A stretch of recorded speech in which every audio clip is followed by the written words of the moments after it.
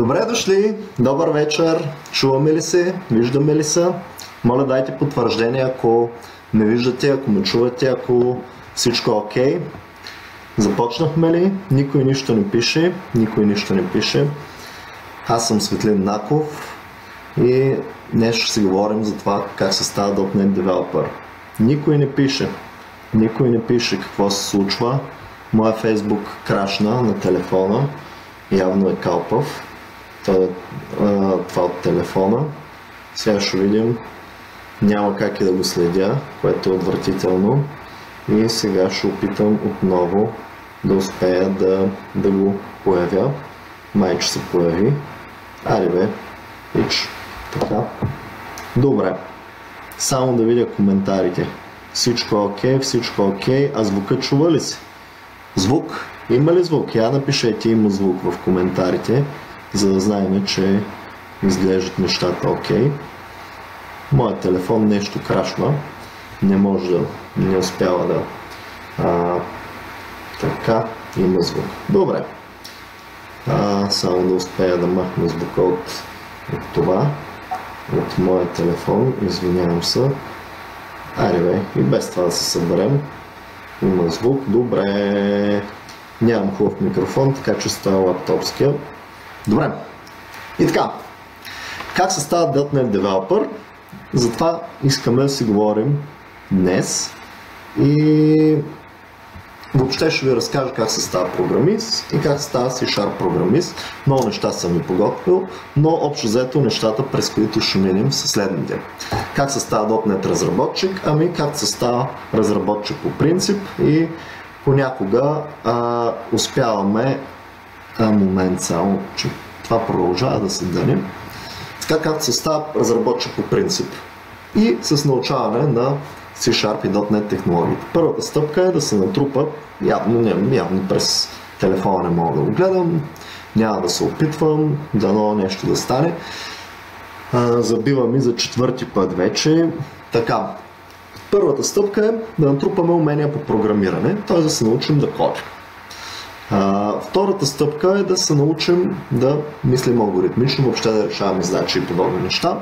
Третата стъпка е да овладеем основите на компютърните науки и софтуерното инженерство, т.е. разни неща като обектно ориентирано програмиране, разни неща като функционално програмиране, бази данни и какво ли още не и какво ли още не.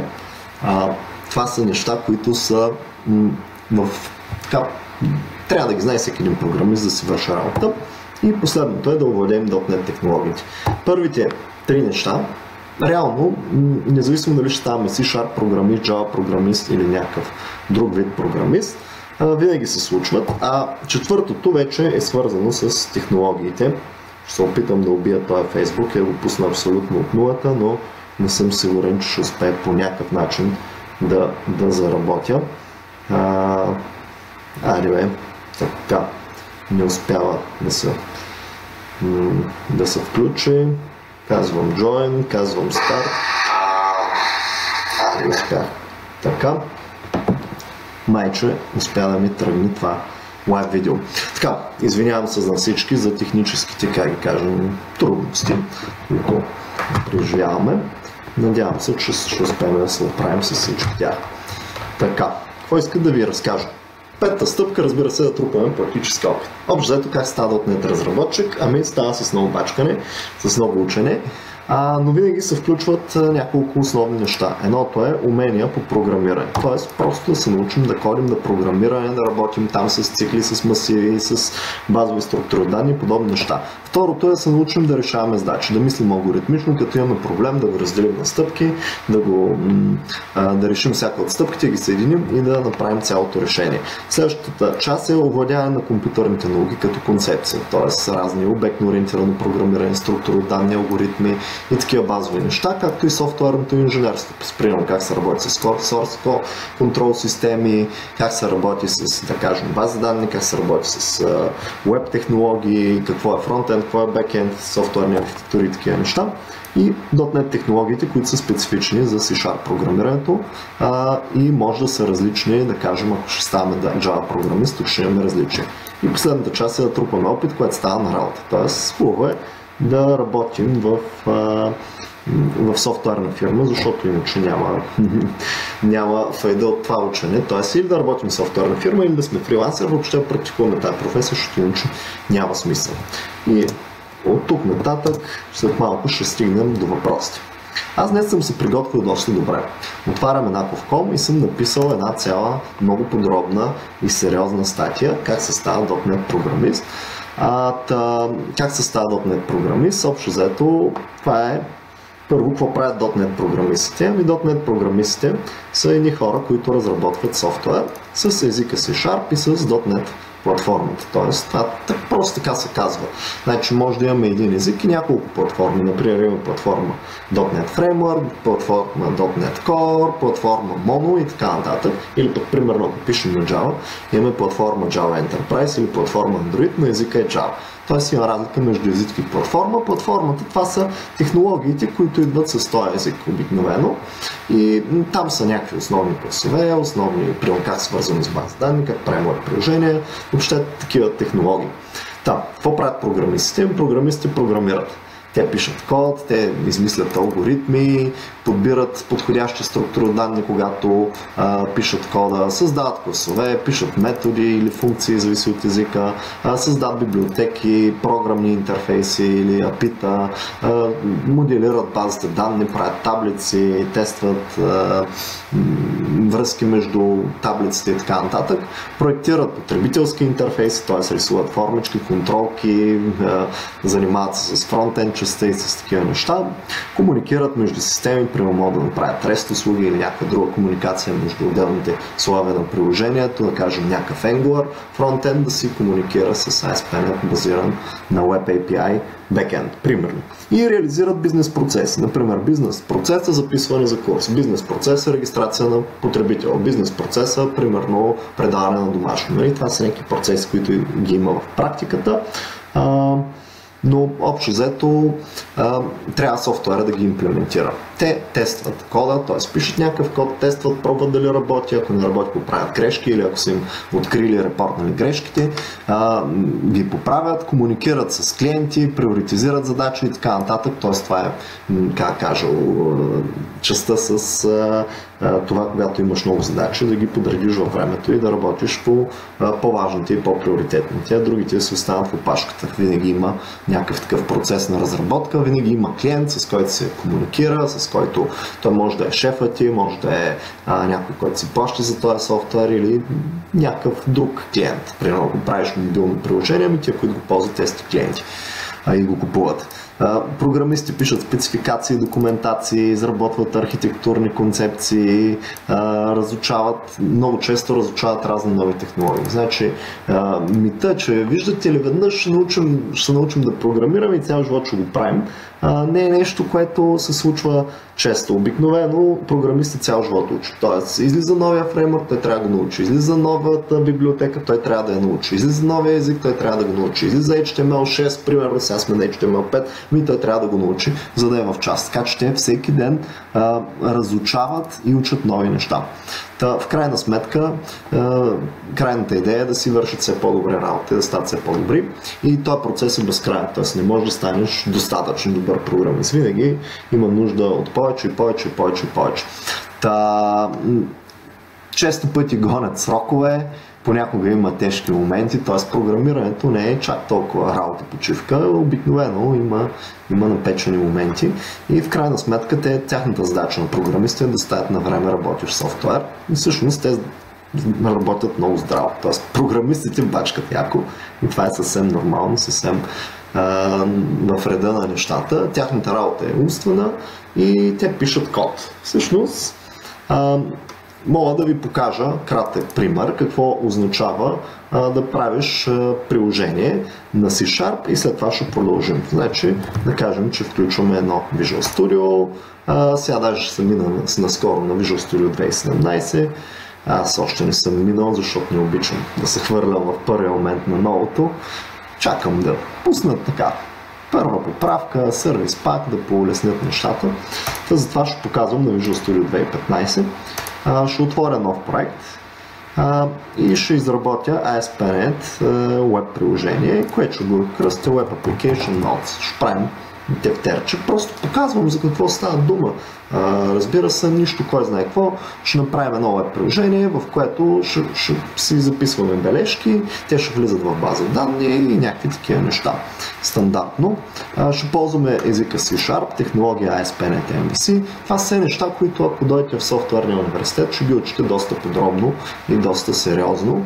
А, това е в частта най-вече технология. Ако се върнем на ето този слайд, това, което показвам в момента е езика си Sharp, ще покажа фреймворка Entity Framework, ще покажа ASP.NET, ще покажа Visual Studio и въобще частичко от тези .NET технологии, като тая част приемаме, че я имаме или, или ще я имаме, че тая част я имаме или ще я имаме и че тези неща времето ги натрупваме, натрупваме, натрупваме, обогатяваме. А, като последната част, нали, тя става, когато започнем работа в софтуерна фирма. Да се върнем тук, сега правим ASP.NET MVC приложение, казвам ОК и продължаваме нататък. Между другото, може да задавате въпрос по всяко време, ние ще ги събираме и накрая ще се постарая да отговоря на, на всички въпроси, да, да успея. Предупреждавам, че а, Фейсбук ограничава лайвстримовете до 4 часа, така че а, в 11.00 приключваме. Това е най-късният момент. Може да приключим по-рано. Така, какво направихме? Направихме празно приложение, което е .NET приложение. Стартирам го. А, сега .NET Framework има не чак най-бързото а, нещо, в смисъл бързичко е, но виждате все пак отнема някакво време да запали, а, особено първия път. Това е често случва, се случва в програмирането. Та, направихме веб приложение на localhost, това е локален веб сервер и сега може да го едитнем, да го променим, например да отворя главното layout view, което обгръща така, моето приложение и да си направя тук, примерно това го кръстя тефтер. Там е някакво тефтерче, където си слагам бележки и тук това го кръстя application, ми се казва тефтер. Тук ще променя някои неща и отдолу copyright тефтер. Добре, тефтер. Нещо не успявам да го напиша. А, натискам F5 и това нещо би трябвало в момента да се а, обнови. Ето тук ще се смени application името нали? и а, отдолу тефтер. Между другото, тук ние ползваме C-Sharp, който е а, такъв компилируем език. Причината след всяка промяна да имаме такова забавяне е, че нашето приложение се компилира на ново, т.е. прехвърля се от ето този формат, нали, някакви класове, да кажем ето, това е C-Sharp код, някакви е такива лейаути, които са с това в случая на езика Razer, написан, който е templating engine за ASP.NET и C-Sharp. Този код се прехвърля в един компилиран вид, т.е. в машинен, в машинен код. А, и всъщност, всеки път, когато променяме, се получава едно такова неприятно забавяне. И това е минус на, на компилируемите езици. При скриптовите езици, какъвто е да кажем JavaScript или PHP, няма такова забавяне. Като променим приложението, почти веднага на момента се променя а, неговия а, на момента се отразяват промените и нямаме чакане. Ето сега отивам в индекс темплейта и примерно мога да кажа а, тук да сложа добре дошли в моя тефтер. В случая ползвам езика HTML. Дошли. Това, което пише в момента е на HTML. Добре дошли в моя тефтерник. Това ми е тефтерника, в който ще имам тефтер и тук ще имаме а, някакво, да кажем, е така мога да си направя а, notes и тук ще имаме а, бележки. Бележки. А, нещо такова. Тук между другото мога да ги направя по този начин и тези неща ще ги изтрия. Натискам Save, Ctrl S и тук натискам F5 и вижте как се чака. Неприятно. Значи, ако това нещо беше на JavaScript и на PHP, нямаше да имаме това чакане. А, добре дошли в моят втерник и тук имаме а, моля прочетете моля прочетете нашите нашите и тук бележки ще е в, като бутонче. Да кажем, че това искам да направя.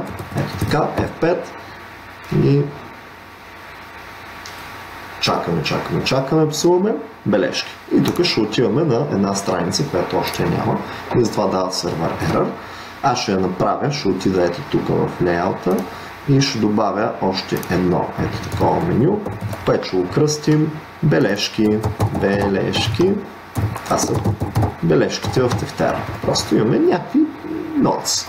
Тук ще сложим индекс и тук ще сложим а, бележка, не контролера, ще е Nodes. Nodes контролер, тук се ползва MVC архитектура, а, имаме модели, а, Имаме модели, имаме вюта, имаме контролери. Контролерите вършат действия, да кажем, като натиснем някой бутон, контролера върши, изпълнява действието, което става при натискане на бутона, бърка в модела контролера, в променя някакви данни, примерно в базата данни и след това вика вюто, което рисува на екрана. В случая това, което виждате е комбинация от HTML с C-Sharp. Ето това е на, с кльомбата, включвам в езика C-Sharp и пиша на C-Sharp. Ето тая част е на C-Sharp, докато ето тая част си е най-обикновен HTML. В случая се ползва фреймворк Bootstrap и, и те нататък за CSS. Това са все неща, които един .NET програмист има да научи и те са наистина много, много, много, много. И затова обучението на един .NET C-Sharp програмист обикновено продължава между една и три години. Нали? Нормално, за около две години, така на, на, на добър темп с 7-8 часа на ден, човек може да се научи. Па даже и с по-малко от 7-8 на ден. Така, а, какво направихме? Тук добавихме бележки, т.е. е тук ново меню. Отгоре ще появим ново меню да видим какво става. Ето това чакане малко неприятно. Тези бележки слязаха долу. Що па слязаха долу? Ами защото тук съм изял лито. Едва ли съм изял затварящото по някаква причина. Натискаме F5 и сега би трябвало да влезе ето тук да имаме бележки. Като цъкнем бележки няма никой, защо? Защото липсва този контролер. Така, сега да добавим малко данни. За да пазим тези бележки, ще ни трябват малко данни. Примерно казваме добави клас и класа а, ще го наречем класа, да кажем, Node. Това е бележка. Една бележка е Node и в класа Node има едно property, което е int ID. Това е номер на бележката, например 1, 2, 3, 4 или 6, 3, 8. А второто е, а, то ще е string и ще бъде а, node text. Това ще е текста или текста. Айде само текст ще кръстим. Текста вътре в, в ноута.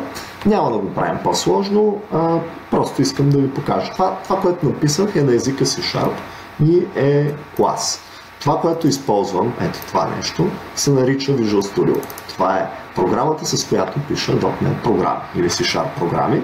C-Sharp и .NET са вървят заедно. В смисъл, а, това е абсолютно нормално, така си вървят, както колата и двигателя си вървят заедно. Нали? А, нямаме кола без двигател, така нямаме и C-Sharp отделно от .NET, общо взето си ползват заедно. Да, връщаме се тук, това е клас, това, това, което виждаме е част от програма, това цялото е цял проект, проект на езика си Sharp и с .NET. Тук се включват бази данни, включва се веб приложение, въобще включват се всички неща, които ще научим най-накрая, когато започнем да работим и изучим всичките .NET технологии и програмирането. Ще можем спокойно, свободно да правим ето такива проекти. Добре, имаме този нод и тук имаме Identity Models, тук е класа Application DB Context, който е вкаран тук. Аз ще го изнеса, защото не му е тук мястото. Ще направя а, add new class, ще го кръстя application, db, контекст. И това е всъщност контекста на нашето приложение. И т.е. това са нещата, които се занимават с базата данни. Тук с контрол точка трябва да дам using и мисля, че всичко се реши. Казвам build, rebuild на solution и да видим какво се случва. Дали ще даде грешка, защото тук нещо подчертава. Може и да е бък в, да, бък е в Visual Studio. А, оправя се. Така, и ето тук ще добавя а, едно property, което е от тип IDB set от node, т.е. имаме множество дейтабейс така, неща, които се наричат nodes. Това са нашите нодове. Control точка, Ето ги. А, и всъщност тук ще ползваме а, Entity Framework. Това е един фреймворк за създаване на а, за достъп до база данни. И ние ще ползваме в базата данни а, това няма да ни трябва, между другото вече. В базата данни ще имаме ноутове. Там може да имаме и други таблици, например потребители, роли и подобни неща. Application DB контекста има IDB set от ноутове и тук може да има и други неща, примерно може да има стоки, продукти, плащания и т.н. и т.н. В едно голямо приложение обикновено имаме стотици, понякога дори и хиляди а, така, таблици, да ги наречем. Така, а, и това нещо за момента е а, готово, имаме модела. Сега нямаме view и нямаме контролер. Може да генерираме с те наречения scaffolding, има го в много езици и платформи. Ще използваме scaffoldnat item, ето това нещо, scaffoldnat item, web controller, using entity framework, ще кажем add, така и ще кажем, че модел класа ми е node, а дата контекст класа ми е Application DB Context. Казвам, добави ми Notes Controller, в който има а, визуализация, редакция въобще те наречените CRUD, Create, Read, Update, Delete операции за този, а, за, за това entity, за ноутовете, т.е. за бележките. Изчакваме малко, в момента ми генерира код. Генерира да, обикновен C-Sharp код и модели и разни други неща. Ето това ми беше генерирано нещо, което показва всички ноутове, нещо, което визуализира определен ноут, нещо, което създава нов ноут и рендира формата за създаване, нещо, което създава всъщност реално нов ноут в базата данни. Ето това е код на Entity Framework.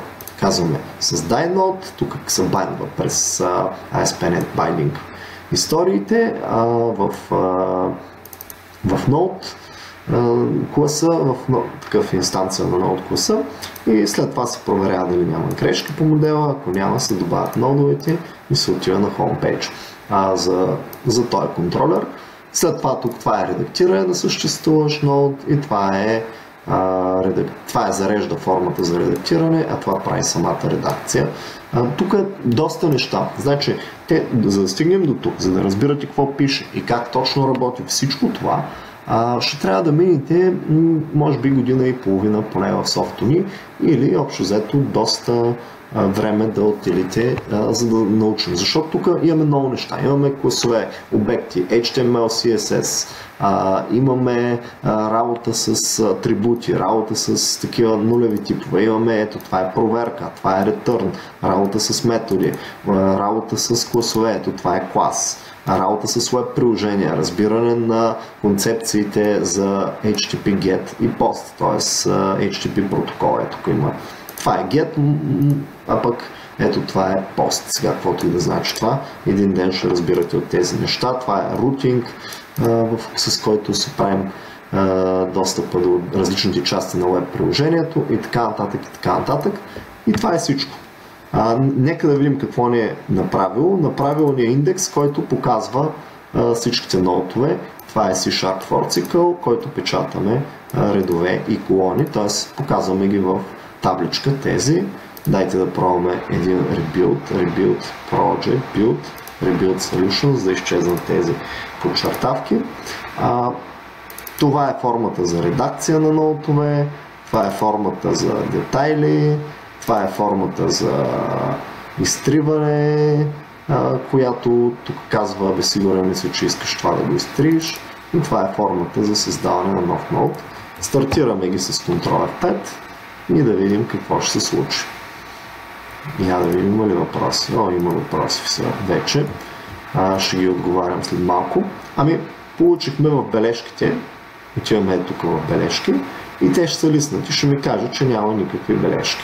Създаваме нова бележка, примерно а, да купя бира за празника или за мача по-скоро. За мача. Create и имаме да купя бира за мача. Ето, създадено. Още една бележка искам да създам. Примерно а, да си напиша домашното по C-Sharp. Кажем create и в един момент това съм го а, свършил казвам delete, delete и го изтрих. Създаваме ново, айде сега да купя бира, пак си я създавам, че не ми се пише да, да си легна по-рано днес. Примерно. И така нататък. Виждате какво се получава. А, къде отиват всички тези неща? Тези неща отиват в база данни Microsoft SQL Server, която в случая а, се генерира автоматично в нашето приложение и е всъщност ето тези два файла. А, сега ще ги покажа.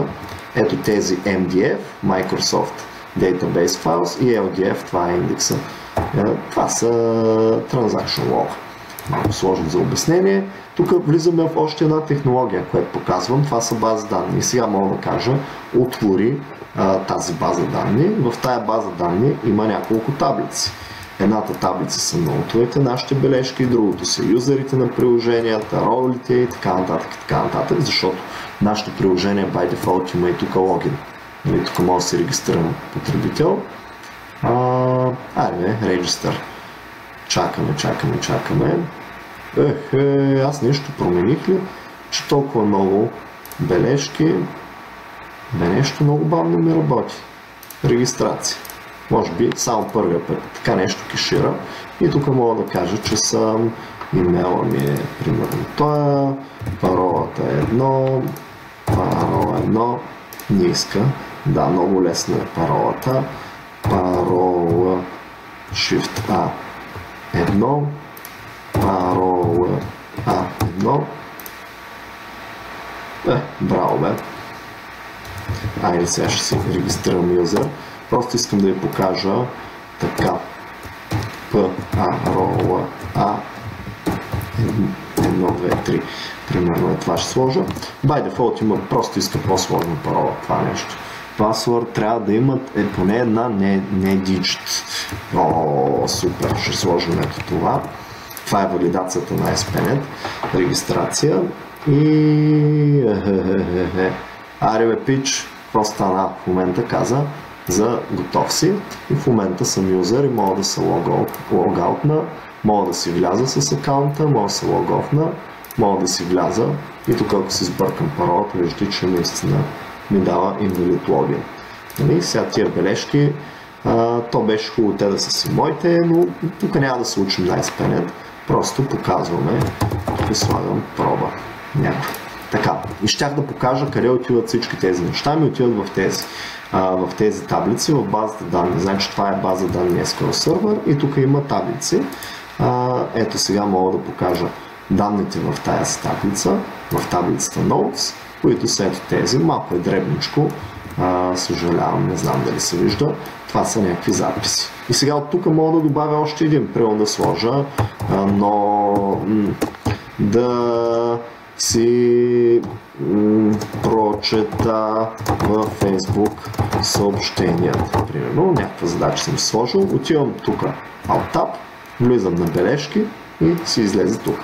Тоест, в програмирането обикновено данните стоят в такива бази данни. В случая базата данни е SQL Server. SQL Server. А, ето това. SQL Server 2016. SQL Server 2016 Management Studio. Ето с това може да се отворите базата данни и да си я чувъркате или както аз направих, аз се отворих в момента с Visual Studio. Тази база данни се намира ето тук, в ето този файл. няма да се занимаваме с това нещо за, за момента. просто показвам как се прави. Така, как се прави, естествено без да пише много-много код. Уха. Тук това го пуснах преди малко а, и то чак сега запали. Какво иска да ви покажа? В индекса какво има? Примерно може да променим. А, ето този линк може да е а, създай нова бележка. Бележка. Бележка. И сега тук F5, този надпис го сменихме.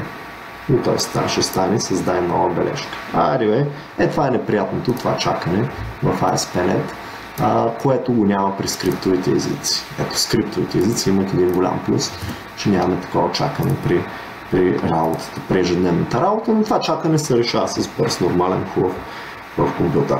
А, добре, това беше демото, демонстрацията. Аз ще се върна обратно, ето тук, а, просто иска да ви покажа какво е C-Sharp и, и как са долу-горе, какво правят .NET програмистите, ми показва ви много малко парче от нещата, които правят. Правят класове, чувъркат в бази данни, създават таблици, променят, пишат код, абе общо взето яко бачкат, само че бачкането е на компютър и е умствено. Как се става .NET Developer? Ами с много практика. Наистина това е кратки отговор. Ученето става чрез правене. И, а, и винаги, когато съм обучавал .NET програмисти и въобще програмисти, съм ги обучавал чрез правене. Карал съм ги да правят, да правят, да правят упражнения, решаване на задачи, писане на код и така за около година, две до три човек може да стане на едно, да добие едно добро начално ниво. Сега, ако някой ви казва, тук ела за два месеца ще станеш .NET девелопър, или ви лъжи, или просто ще станете девелопър, ама такъв девелопър, че а, некадърен девелопър. На много, много, много, много, много начално ниво, който просто не може да върши работа и не разбира какво прави. А, ние такива хора не искаме да произвеждаме, затова в софтури и там, където аз съм преподавал, винаги се учи сериозно, а, доста като обем и много задълбочено, с много задачи, с писане на хиляди часове а, работа, с много курсове. В момента в нашата професия са между 15 и 25 курса, които трябва да преминете. Всеки курс имате а, между примерно 10 до, до към 30 учебни, а, учебни теми. Във всяка имате а, преподаване и упражнения. В упражненията имате съответно а, такива. Само тук мога даже да покажа за професията софтуерно инженерство. А, тя започва с този модул, след това технологичния модул, след това ето тези и това са ви курсовете. Вижте, те са доста. Нали, ето това са курсовете, които трябва да вземете, за да добиете начално ниво, базово ниво на професията .NET Developer, но това е друга, друга тема. Всъщност, тук смесвам две неща или три неща. Едното е как да стана програмист, което, за което много пъти съм разказвал, имам специално видео за него записано. Второто е как да станем .NET програмист и третото е как да станем .NET програмист през софтуни, защото това не е единствения начин, има и други начини, може да учите на друго място или сами а, и така нататък. Добре, аз ще пробвам да отговоря на част от въпросите, които са до момента. Станимир Марчен. Трябва ли да работим с Windows 10? Не, не е задължително, може и с Linux да работим. Има много .NET програмисти, които работят с Linux или с друга по-стара версия на Windows. А, аз лично работя с Windows 10. Така, Visual Studio може да се ползва на Windows 7, а, може. А, коя версия е най-добра? Най-добра, а, най- значи коя версия на, на Visual Studio е най-добра? Последната си изтеглете. 2017 ние с нея ще работим а, и 2015 да изтеглите, което в момента с, него показвах, няма голяма разлика. А, специално за нещата, които ние ще учим сега.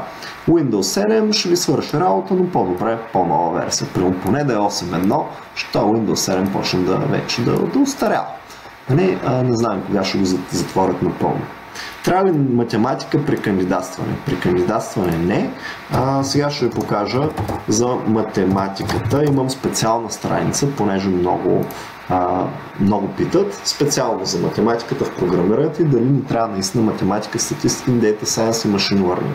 Ами, отговор е, че по принцип, аз съм привърженик на идеята. Първо се учим да кодим на простите неща, после задълбаваме в математика и по-сложни неща защото математиката не е за всеки. Има програмисти, които не знаят математика, но си работят. А, освен това, аз съм привърженик на подхода от практика към фундамент, защото човек не става интересно. А, програмира, програмира, учи се, вдига нивото и в един момент а, стига до, до това, че до задачи, които не може да реши без математика и тогава му е интересно и знае защо я учи. Иначе, много често, ако отидете в един държавен университет, ще ме засипят с математика още в първи курс и много хора ще ги откажат.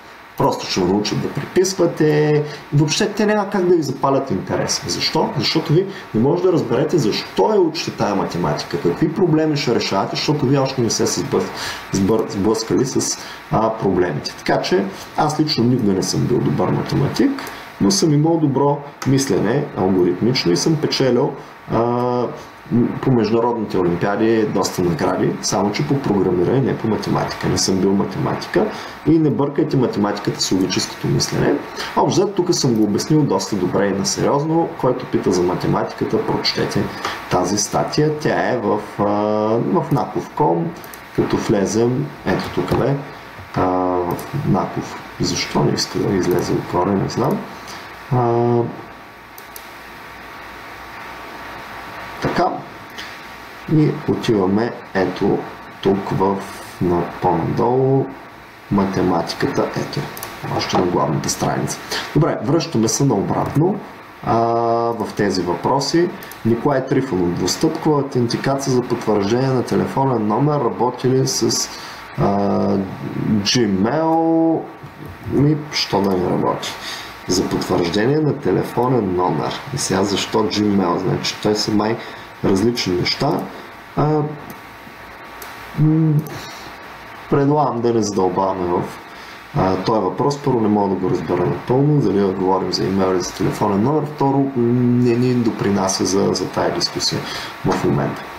А кандидатурата ни за безплатен курс на онлайн форма е одобрена. Какви са ни основните задължения? Петър Колев пита. А, ами, може ли да не се явим на изпит? Ами, винаги може да не се явиш на изпит. Това си е твоя работа. Ако искаш да учиш в софтуни, а, трябва да се явиш на изпит. Разбира се, за да, да приемем. Нали, има приемен изпит, който е след, значи, малко по-далеко да го обявя.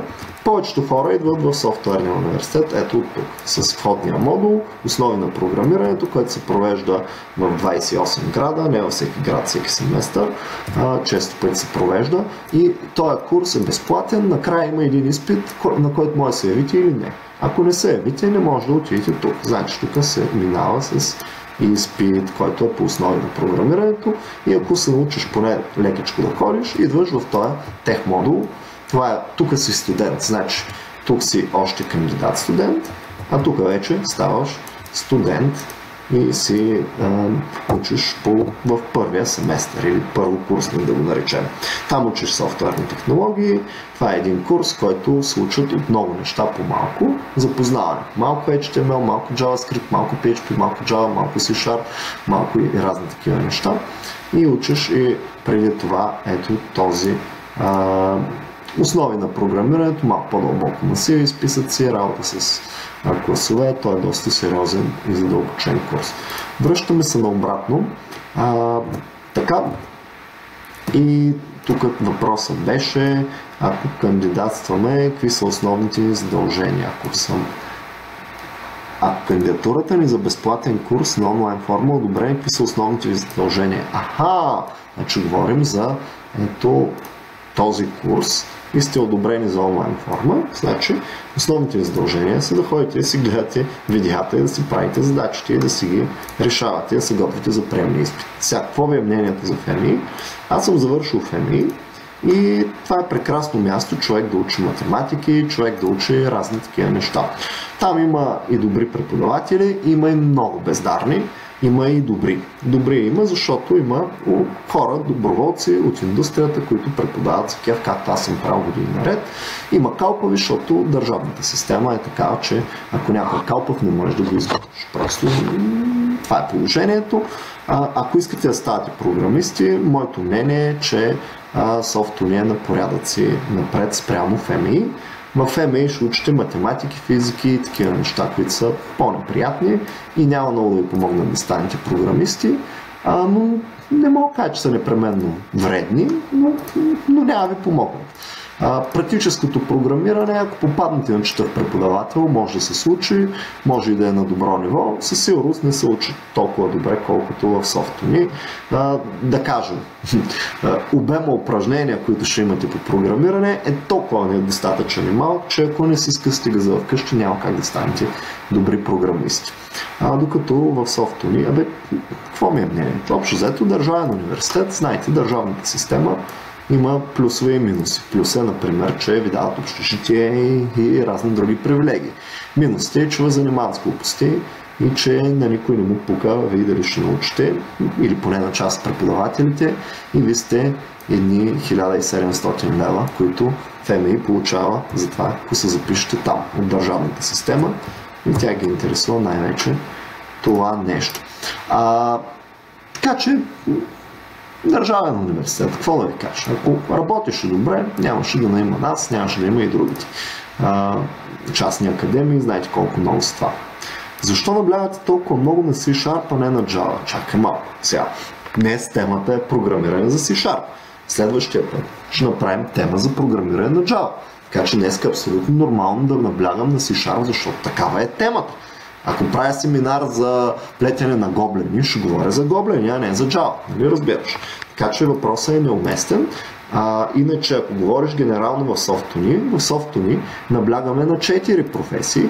Това е C-Sharp Web Developer, Java Web Developer, PHP Developer и JavaScript Developer и не мога да кажа дали наблягаме повече на C-Sharp или да кажем на JavaScript, а, защото всичките ни професии са силни и доста добра подготовка даваме за всяка една от тях. А това са най-често търсените програмистски длъжности в България подчертавам в България, защото в други държави, например, имаме а, да кажем, Python се търси много. Сега, връщаме се тук, малко въпроси. Здравейте, бихте ли казали с кой ваш проект Desktop или Web се гордеете и ако ви питат кой език ви е на сърце, например, вие какво бихте отговорили? Сега, с кой мой проект се а, гордея? чак да се гордея, гордея се с книгите, да кажем, които сме писали. Ако говорим за неща от програмирането, ами, например, платформата за Content Delivery, която правихме за Mobiltel на Java правих, тя беше веб проект с Google Web Toolkit. Мога кажа, че се гордеем, защото а, екип от 15 на души работихме няколко години, направихме нещо, което работи. А, това беше платформа, в която може си теглиш мелодийки, съдържание и така нататък по уния времена, по които интернет още не беше а, по всяко едно време на телефона и примерно се теглиш а, картинки, лога, десктоп, wallpaper и подобни за телефоните. Това беше преди ерата с, а, за смартфони. Не знам дали този проект все още се работи и се ползва и беше сериозен проект с Oracle баз данни, с Java и така нататък. А, така.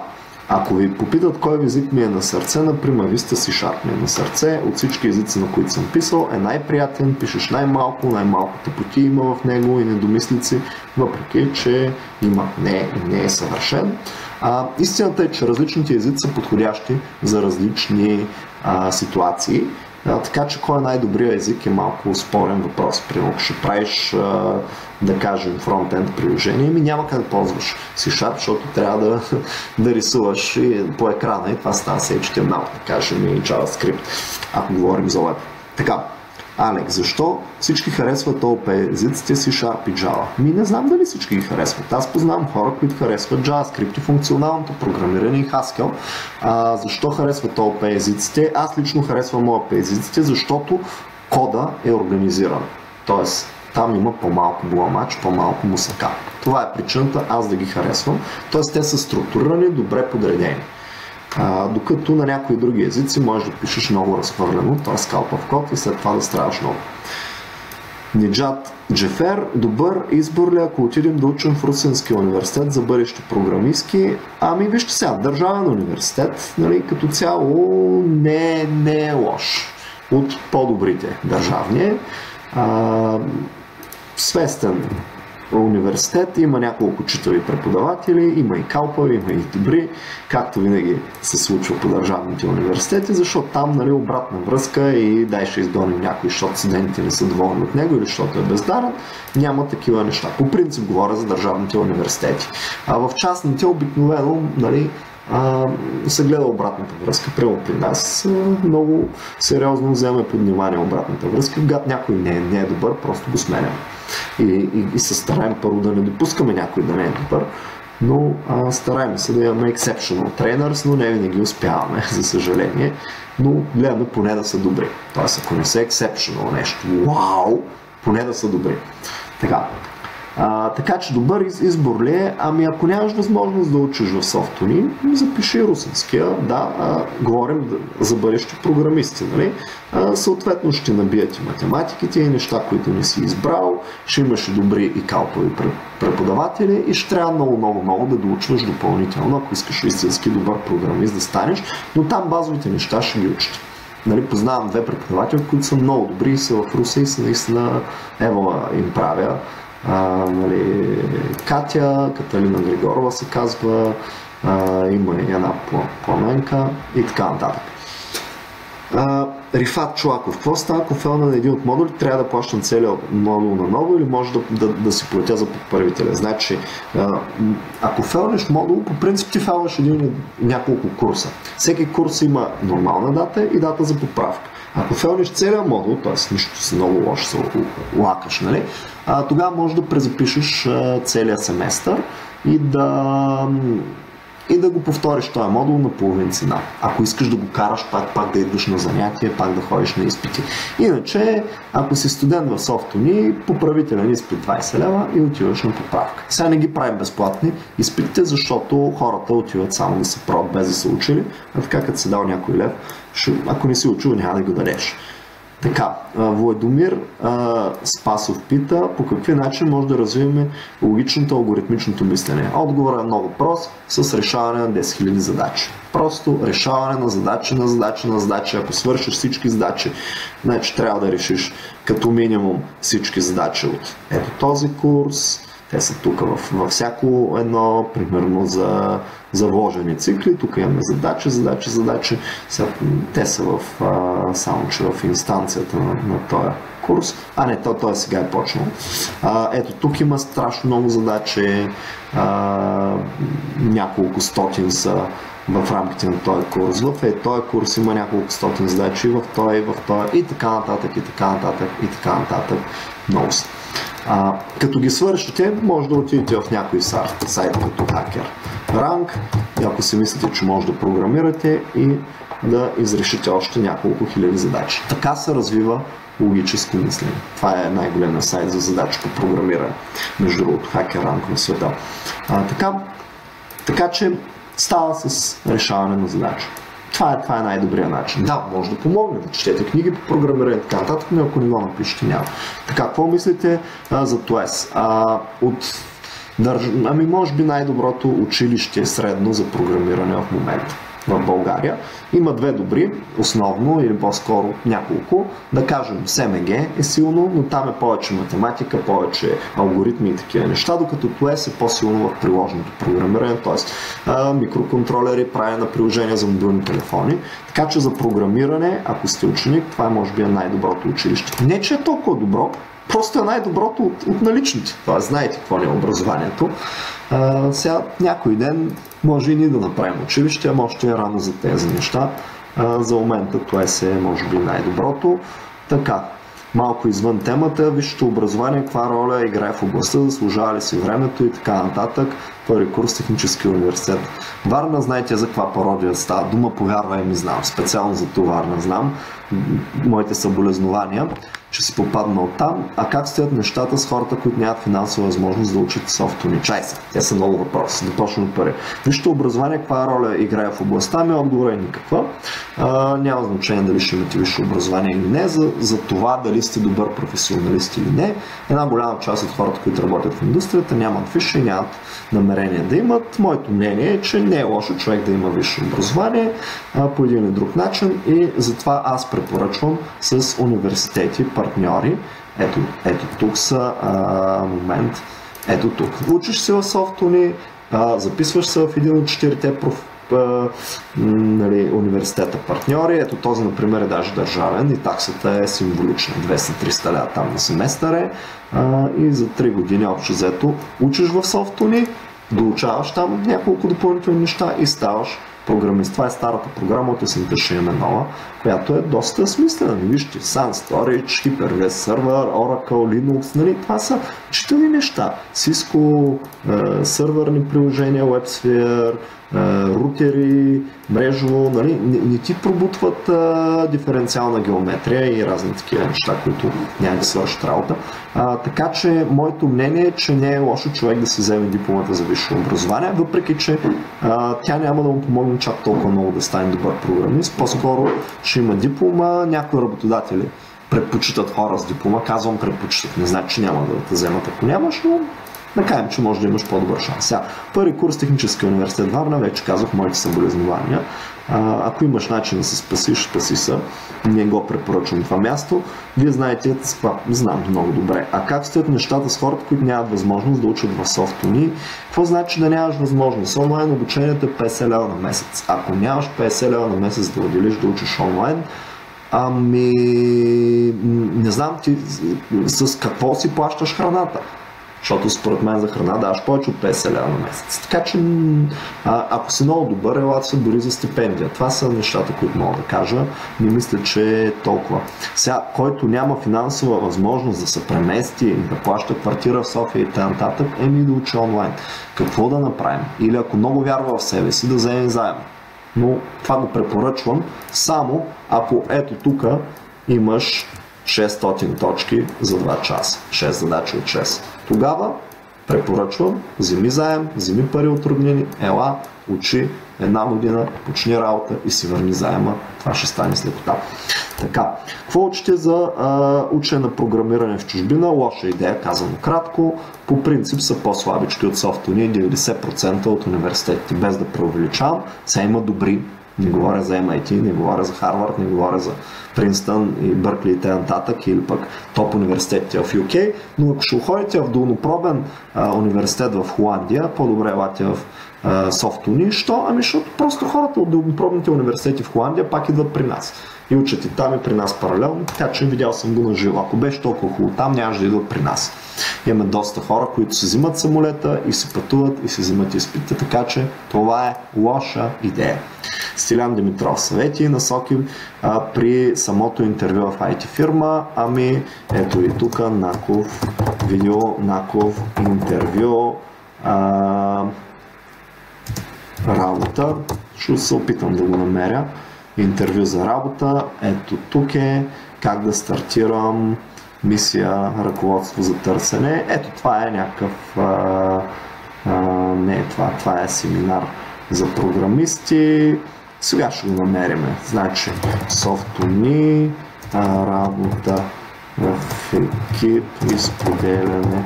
Не, как беше този курс? Ние имахме цял курс за това. Сега ще го намеря къде е. Teamwork and Personal Skills. Ето този, в този курс, това, което беше 2015, май 2015, говорих аз. И ето тук има прекрасни, не знам, що сложили Трифонапов, имам някакъв спомен, че аз говорих това нещо. А, подготовка на CV и, аре бе, интервю, успешно интервю за работа. Ето тук има видео. Добре, не, може да намерите от Наков интервю за работа и тук си има обяснения и съвети и типични въпроси, как да се подготвиш и така нататък. Тоест, препоръчвам с две думи ето този курс на колегата Стилян. Така. А, Руслава Русева. Руслава, според мен, ако даден човек не е любопитен любознателен по рождение, ще му е доста трудно грешали. Ами ако не си по, по природа любопитен, а, да,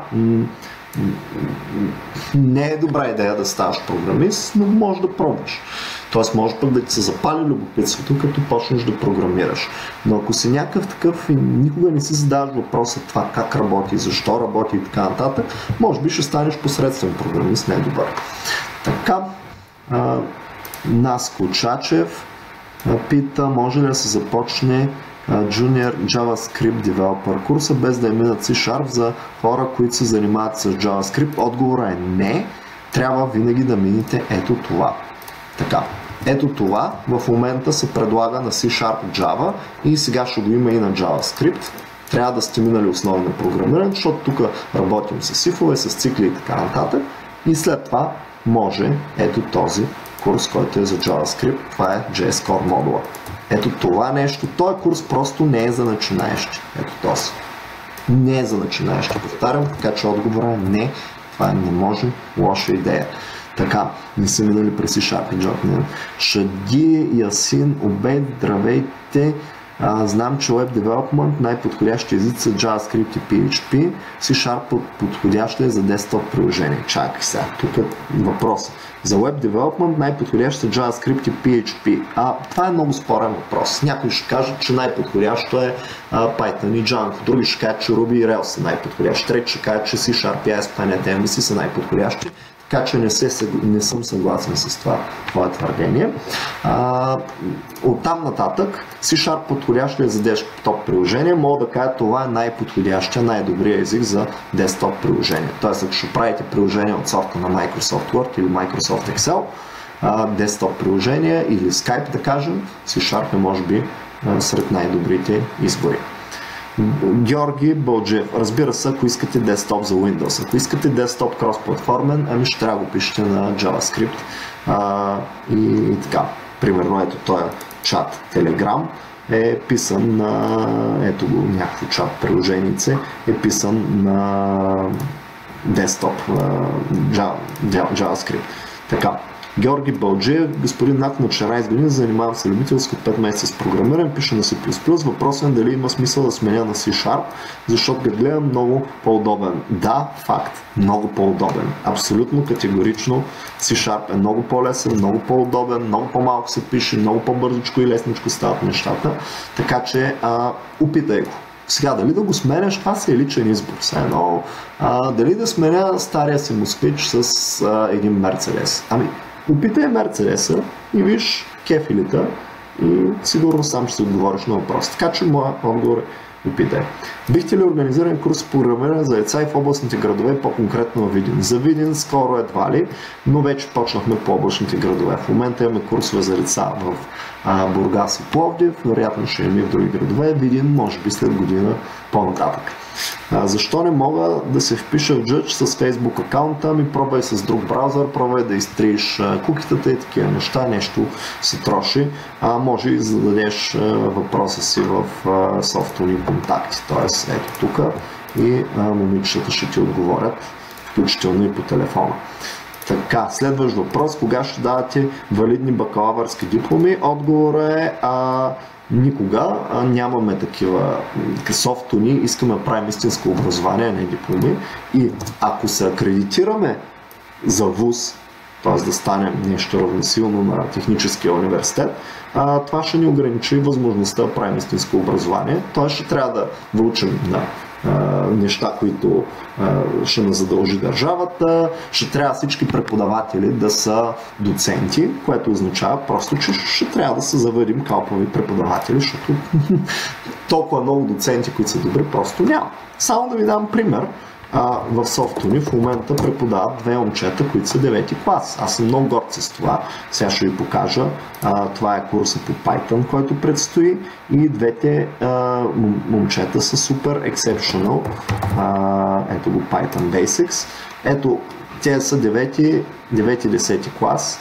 Алекс и Димо и са ученици в Семеген. Те са exceptional, значи Алекс години наред е печелил а, някакви много силни първи места в много състезания и наистина много добър програмист, шампион. А, спечелиха се в тонялата тия момчета и аз имам пълно доверие. Ето това е една от разликите. Ако станем държавен вуз, ще преподават тези младежи, ама друг път. Защо? Защото държавата просто е назад с материала и защото си има нейните стандарти, които просто са тъпи. Значи там а, оценяват преподавателите по научна дейност, а пък трябва да преподават. Тоест, ти може си бездарен, с добри научни постижения или, или добри научни симулации на постижения, което е по-честия случай, т.е. имаш там в долнопробни конференции, измислени някакви публикации, долнопробни, а, и, и си на хартия много добър, ама на практика не си. Значи, ние искаме истинско образование да правим. Ето, тази учебна програма, която е правилната, тя не може да бъде одобрена във ВУЗ, просто защото не съответства на, на вузовите правила. Нямаме математика, нямаме физика, нямаме не знам си какво, преподавателите не са ни доценти и те нататък каква е тая нашата смесена форма онлайн. Някои курсове ги караш онлайн, някои ги караш присъствено, например. Няма такова по университет. Не може да има и т.н. нататък, нататък. Разширен или ускорен тех модул бихте препоръчали твърдо разширение. Абсолютно твърдо. Значи, освен ако не си exceptional и всичко ти се отдава и с лекота за един час се решаваш задачите на приемния изпит, само тогава тех. Тоест, той е за exceptional хора. А, в смисъл ускорение. Георги Петър, бихте ли каза разликата между специалност компютърни науки и софтуерно инженерство, понеже, вижте сега, това са заглавия. Разлика съществена няма. Това просто се заглавя. Аз мога да твърдя, че продавам а, сандвичи, а вътре да сложа две филии и по трета филия. А мога сандвич да нарека нещо, което има а, две кила сьомга и някакви много хубави неща вътре. Така че това са заглавия а, не бъркайте съдържанието с заглавия. Предполагам, че тези заглавия сте ги взели от ФМИ на Софийския университет. Еми хората обичат да слагат атрактивни заглавия, защото това продава по-добре. Понеже аз изучавам компютърни науки, имам твърде много математика. Ами да, защото си отишъл в държавен вуз. Ти това сам си го избрал, пич, Георги Петев. Сам си избрал да учиш много математика. Това е което получаваш в държавния вуз. Не кам, че е вредно, Просто ти си го избрал, но няма да те направи толкова добър програмист. Добър програмист ще направи якото писане на код години наред и математика последваща. За математиката вече ви пратих линк преди малко. Не е напълно и ненужно, а след време не се занимаваш с графика. Аз предпочитам да се занимавам с програмиране, разработване и така нататък. Не мога изкарам 4 години с тази математика. Добре, какъв ти е въпросът сега, Жоро? Че искаш да споделиш с всички, че си се прецакал и си отишъл на гадно място да учиш а, да ти бухат математика, пък ти искаш да се занимаваш с програмиране и веб дизайн, ами тогава ела в софтуни или ела в някоя частна академия. Ако а, въпросът е защо така, ами питайте, ако ти преподават тая математика, аз мога да ти дам отговор. Тези, които преподават математиката, са на власт и те решават какво ще уча. Никой няма да няма а, желание да гласува а, собственото си изгонване, т.е. Да, да ги оставят без работа. Нали? Едни математици винаги ще, ще искат да се учи математика. Нормално. Така. Моля, започна веднага работа на каква заплата, ако изкарам Software Digital с 600. Ами отговор е да. А, на каква заплата? Ами 800. Между 700 и 1000 лева начално, според мене. А, има фирми, които ще вземат. Бих казал не да го изкарам с 6.00, наистина да разбереш и направиш тая материя. Но да, оценката е добър критерий, че, че това се е случва. Ще има ли курсове по QT, много нишова технология, по-скоро не. Може и някой ден да направим изборен курс, но, но не очаквам да има голям интерес. Така че по-скоро не. Софийския или техническия университет бихте препоръчали за паралелно учене по програмиране заедно с софтуни? Ами ще ви отговоря така, бих, бих препоръчал ето този университет. А, а, телекомуникационния университет, това е ето този университет, защото той е в момента от държавните най-напред с материала. Най-малко математика се учили, най-много практика има, пак си дават бакалавърска диплома и въобще, а, ребе, пич, отвори са нещо, нещо не ми съжалявам. Или мой интернет умря, или на тези сайта а, както е. Това се казва Висше училище по телекомуникации и почти. А, сега намира се в студентски град, имате си всичките държавни привилегии, там общежития, почти безплатно и така нататък и така нататък, държавните привилегии. Така че това. И все пак, иначе, пак на въпроса, ако ти си наумил Софийския или техническия, твърдо Софийски. Техническия, просто Софийския са по-добри. Защо? Защото имат, позволяват студенти и хора от индустрията да преподават, а, защото по, по много причини. Просто, просто са по-напред с материала. А, в техническия а, програмите са малко по-устарели, преподавателите са като цяло малко по-калпави и така. Какво мислите за СПГ Джон Танасов? Ами бягай далеко и се премествай в Quest. Това мисля, ще го кажа накратко.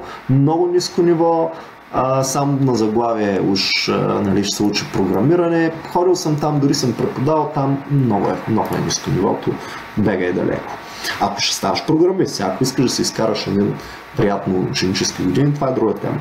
Фирма с добро заплащане би ли взела 16 годишен? А, да, стига да може да работи на пълен работен ден. Защото обикновено това, че ти нямаш време да работиш е голям проблем за фирмата. Така че ако можеш, да, аз лично съм взимал няколко пъти 16 годишни а, на, на работа и съм наемал, а, но Това е въпрос на, на, на разбирателство. Нали, пример, мога да ви дам примерно Марио Пешев. Ето той е човек, преди няколко, преди 10 на години, аз лично го бях наел, той е един от най-добрите WordPress програмисти в България. А, има собствена фирма, една от най-добрите WordPress агенции и е много, много сериозен и когато аз го наех, той беше на 16 години. Само давам пример а, и съм много горд с него, между другото. Той е невероятен. Петко Димо, възможно е бъдеще да се направи някакво събитие свързано с продуктите на Microsoft, например SharePoint, Microsoft Planner. Ами SharePoint не е в фокуса на радара, сигурно ще направим, но конкретно не сме го планирали. Microsoft Planner е по-скоро нишев продукт и съмнявам да имаме интерес към него. Александър Пашев, нужна ли е много математика за софтуерното инженерство? Отговорът е не. Може да си добър софтуерен инженер без да си добър математик и без. И трудно ли е софтуерното инженерство като цяло? Ами пробвай. Моят отговор на този въпрос е пробвай, защото нещо, което на един е трудно, на друг не е трудно. То просто си е специфично за човека. Така че пробвай.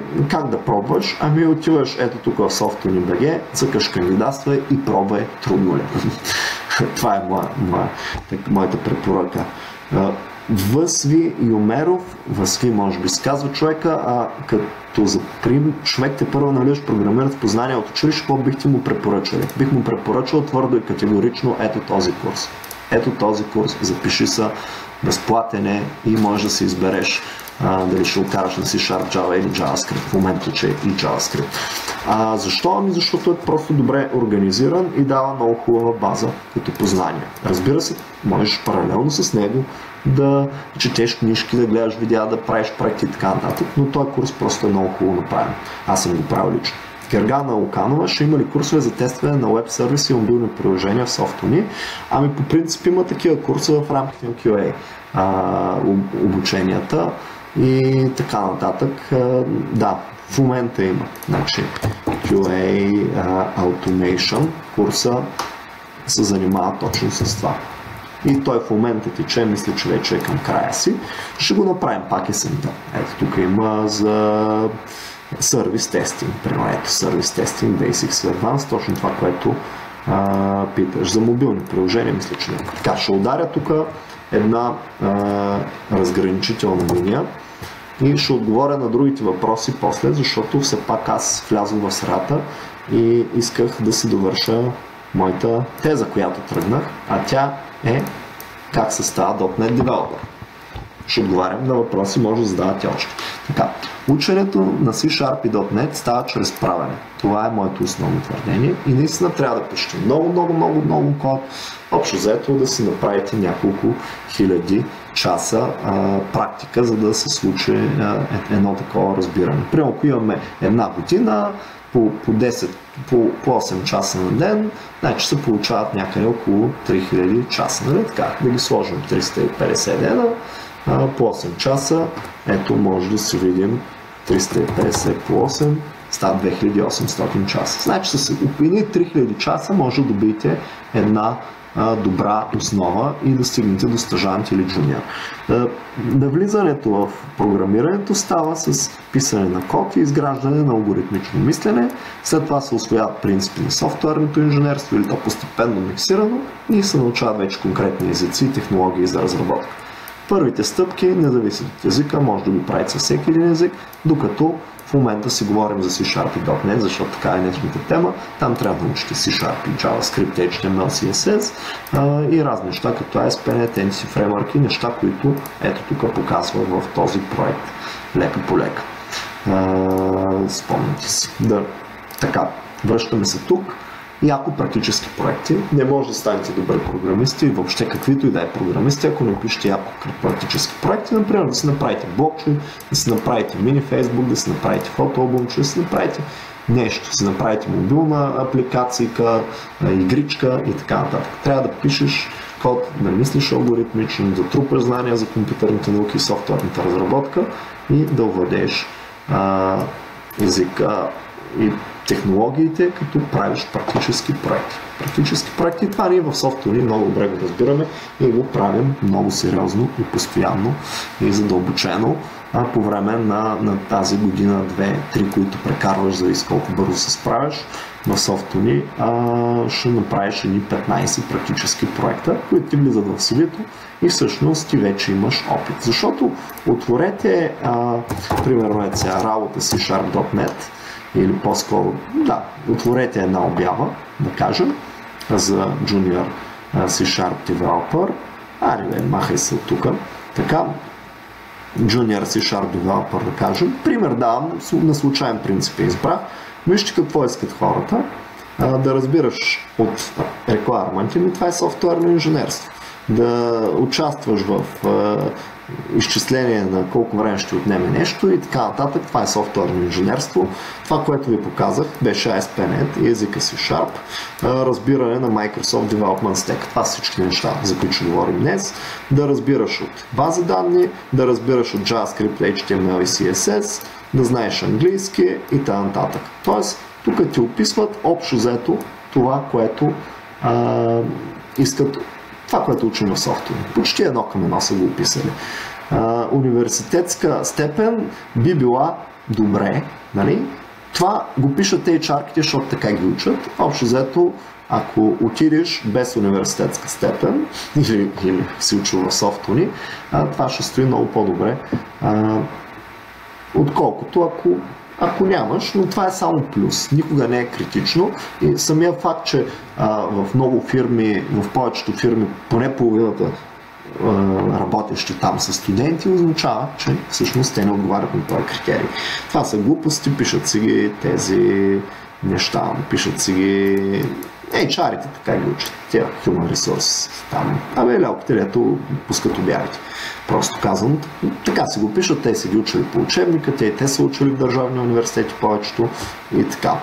А, иначе, от, ето друг, друг пример, трети пример за C-Sharp Developer, а, някаква обява, какво трябва да прави, Software Development, Quality Assurance, ето C-Sharp, SQL Server, ASP.NET, HTML, JavaScript, CSS. Точно нещата, които учим.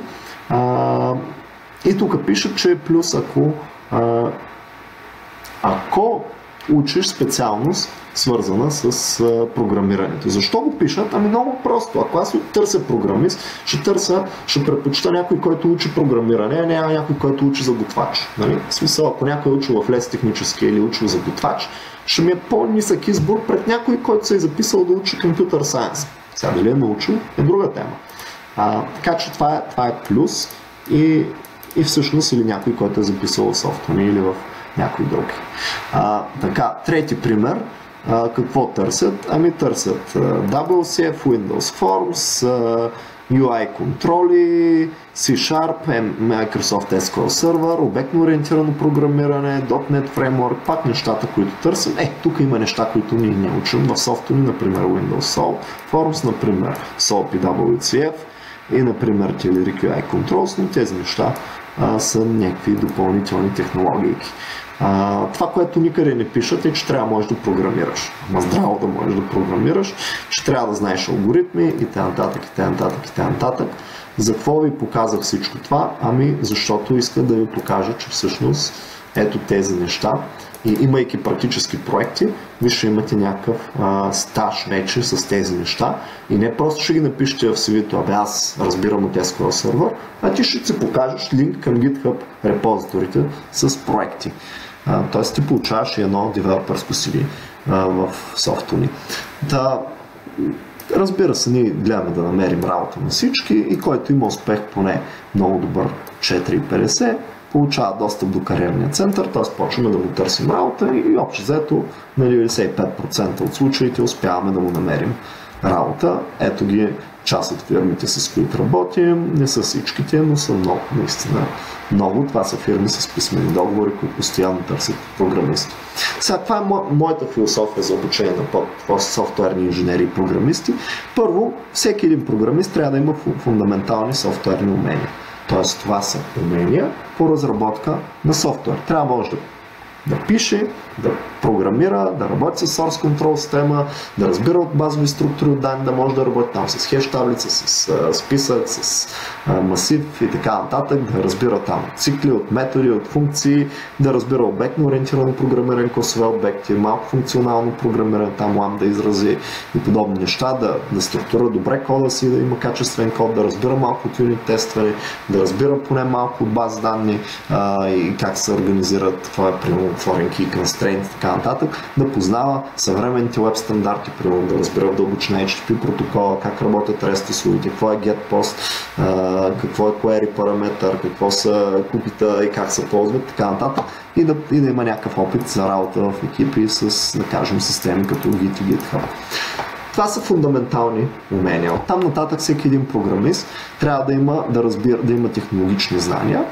Ако е .NET програмист, това трябва съзнание с C-Sharp и .NET, т.е. трябва да разбира от SQL сервер, от ORM технологии, Entity Framework, от Backend технологии, от ASP.NET, да кажем, за веб приложения, веб сервиси, от веб сервери и така нататък и от фронтенд технология, т.е. HTML, CSS, JavaScript, jQuery, разни неща, като как се ползва Ajax, REST, JSON, как се правят сервиси, Single Page Application и подобно. Общо взето, изучавайки C Sharp и .NET, припомням, че това е заглавието на днешния толк и затова фокусирам върху тях не ви говоря за изучава, е между 800 и 1000 лева. Чисто е нормалната стартова заплата на един джуниор такъв програмист, като C Sharp и .NET е в топ 3 на най-търсените технологии в България. Може би тези топ 3 са в момента C Sharp, Java и PHP. Със сигурност топ 4 са тези 4 професии, които учим при нас. Там добавяме и JavaScript. На пето място е C++. Това е в България. Правили сме изследвания и т.н. Отворения код е в сърцето на C-Sharp и .NET, много свободна, отворена платформа. Не беше така много, то е Сатя, новото CEO на Microsoft при няколко години, което влезе. Много раздвижи нещата и наистина стана така отворен стандарт, работи се, поддържа се върху Linux, върху Mac, върху всякакви платформи и върху телефони.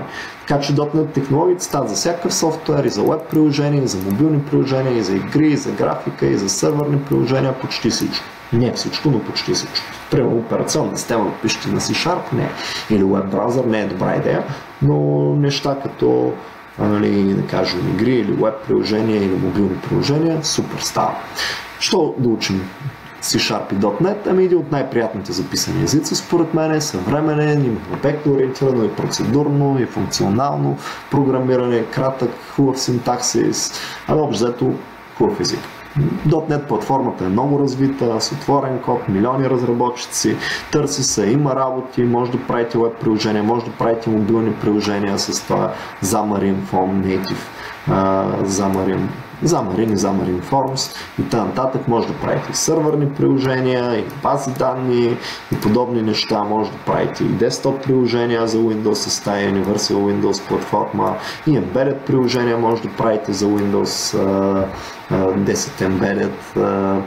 И и приложения и за телефони, и за клауд, и игри, и примерно с Unity. C-Sharp е основният език нали, за правене на геймърски графични приложения. Има много голям търсен. В смисъл със сигурност лесно ще си намерите работа с C-Sharp, много по-лесно, отколкото с някакви други езици и технологии. Как се става .NET програмист? Ами накратко, трябва да се научиш да програмираш, да кодиш, да, да, да работиш с а, цикли, с проверки, с масиви, с асоциативни масиви, с хеш таблици, с дикшенерите, базови структури от данни, да мислиш като програмист, да разбираш от стринга, от текста обработка, от файлове потоци, от, от какво ли не, от класове, от обектни, от обектно ориентирано програмиране, наследяване и т.н. да развиеш алгоритмично мислене. Това става с решаване на няколко хиляди задачи по програмиране нали, и ни хиляда задачи, ако хиляда, две, три хиляди задачи, ако решиш както в софтуни, би трябвало да развиш това алгоритмично мислене. Трябва да овладееш основите на компютърните науки и софтуерното инженерство, примерно да разбираш а, принципите на обектно ориентираното програмиране, принципите, да кажем, на, разни неща, като бази данни, като веб технологии, комуникационни протоколи. И, и това са фундаментални знания, които общо са от нашата професия и които винаги ще ти трябват независимо какво точно работиш. Дори QA инженер да работиш, дори Python програмист да работиш или Embedded програмист, ще ти трябва. А, ако ще ставаш .NET програмист, ами трябва да знаеш на дълбочина .NET технологиите. Това са най-вече ASP.NET за веб приложенията, това са стандартните езици към API към .NET Framework, библиотеки и така нататък. Това са Entity Framework за достъп до баз данни и, и много други. Практически опит с технологиите се трупа, като започнеш работа. Това е най-добрият вариант. Няма как човек да има 5 години или 10 години опит като с .NET, без да е работил реални проекти. Тоест, същественият опит се натрупва на работа. Така че тук съм обяснил всички тези неща, уменията да програмираш, да пишеш код и така нататък, те се натрупват в този курс по основи на програмирането в софтуери, който е безплатен и се предлага в много различни а, градове. Например, сега може да запишете с C-Sharp, Java или JavaScript. Ето този безплатния курс. А, алгоритмичното мислене, то се развива най-вече в ето този курс, където се решават по-сложнички задачи а, върху най-вече структури от данни, класове, обекти, матрици, стрингове, методи и така нататък. Много е важно всеки един програмист да владее тези неща. И при нас ги правим задачите с нарастваща сложност, лека по лека, плавно. Това е Programming Fundamentals Extended. Препоръчвам го. Всъщност всички тези а, курсове, те са безплатни и, и може да ги намерите като видеа в а, интернет или пък ако искате може да вървите заедно с групите, които са при нас и да ги учите онлайн или присъствено, което е много по-добър вариант, много по-сериозен. Но материалите ги има, те са open source а, с Creative Commons лиценз. След това овладяне на компютърни науки, софтуерно инженерство и така нататък са неща, през които просто човек трябва да, да мине. Трябва да имате базови понятия по структура данни, алгоритми, да разберете от сложност, от линейни структури, списъци дървета, опашки и т.н. графи, динамично оптимиране, да имате понятия. Трябва може да работите с source control система, там да пулвате, да мърджвате, да пушвате, да камитвате, разбирате от репозиторите, от бранчинг и т.н. Issue tracking, също работа с задачи и така нататък. Това го учим в ето този курс частично и в някои други курсове по-малко. Обектно ориентираното програмиране е нещо, което, както видяхте в 3 от 3 обяви за работа, го искаха, така че не може да минете без него. Работа с класове, интерфейси, капсулация на данните, наследяване, полиморфизъм, абстракция, изключения, дизайн патърни и така нататък. В софтуер имаме два курса OP Basics, който е с тези теми. Той е базово ниво на OP и OP Advanced, където се учи там юнит тестване, качествен код, дизайн патърни и разни други неща, ето, те се виждат Open Clause, Principle, Reflection и какво ли още не. юнит тестване и така нататък а, трябва да го могат програмисти. То се учи в софтуни в два от курсовете, и в JavaScript и в OP. Функционално програмиране се учи най-вече от JavaScript. В софтуни това е работа с функции, с функционални изрази, с лambda изрази, лambda функции, функции от по-висок ред, функции, които връщат функция, кложери, затваряне на състояния, immediately involved function expression в JavaScript и така нататък. И там много сериозно внимание отделяме на тези неща. И всъщност при нас JavaScript се учи на задълбочено ниво и то най-съвременният ECMAScript 2017, най-новия JavaScript. Бази данни SQL, ами всеки един програмист трябва да разбира от бази данни, да може да напише поне една select заявка, insert заявка, delete заявки, where, да прави филтриране, съединяване на таблици и така нататък. Така че ние имаме много сериозен курс по бази данни, който така за около 2 месеца въвежда много сериозно в тези неща. В крут операции, в писане на заявки, в таблици, джойни, стига до транзакции, до тригери, до стоп процедури и така нататък. ORM технологиите ни е втория курс в модула за бази данни, където в случая с C-Sharp учим Entity Framework, при Java учим Spring Data и така нататък. При другите технологии учим други неща и ползваме изучаваме много в дълбочина всички тези неща. Code First работа, работа с Database First approach, миграция на данни, достъп до данни, query кеширане, пък и какво ли не, какво ли не. Имаме, разбира се, практически проект. Web приложение и HTTP като концепция ги учим в курса по основи на веб разработката, където учим много задълбочено веб програмиране, работа с сесии, състояния, с протоколи, с контент тайпове, с HTTP GET POST routing и така нататък, валидация, страниране, операции, форми и така нататък. Изграждаме собствен MVC фреймворк, без да ползваме фреймворк. Тоест, ние учим нещата на ниско ниво, как се случват, без да учим конкретно, било то ASP.NET или Spring MVC или някакъв друг фреймворк. И това е много, много полезно за един програмист, за да стане добър. А ние искаме да станете добри. Не просто да станете какви да е програмисти, да станете добри, сериозни, готини програмисти. Разбира се, учим малко софтуерни архитектури, концепцията за клиент сервер, за модулови контролери и така нататък. Това е в курса по софтуерни технологии, който е, в който учим доста неща. Там и Ajax учим и работа с uh, HTML5 и JavaScript PHP и ли По-малко обаче. Много сериозно учим HTML раз, разработката и фронтенда.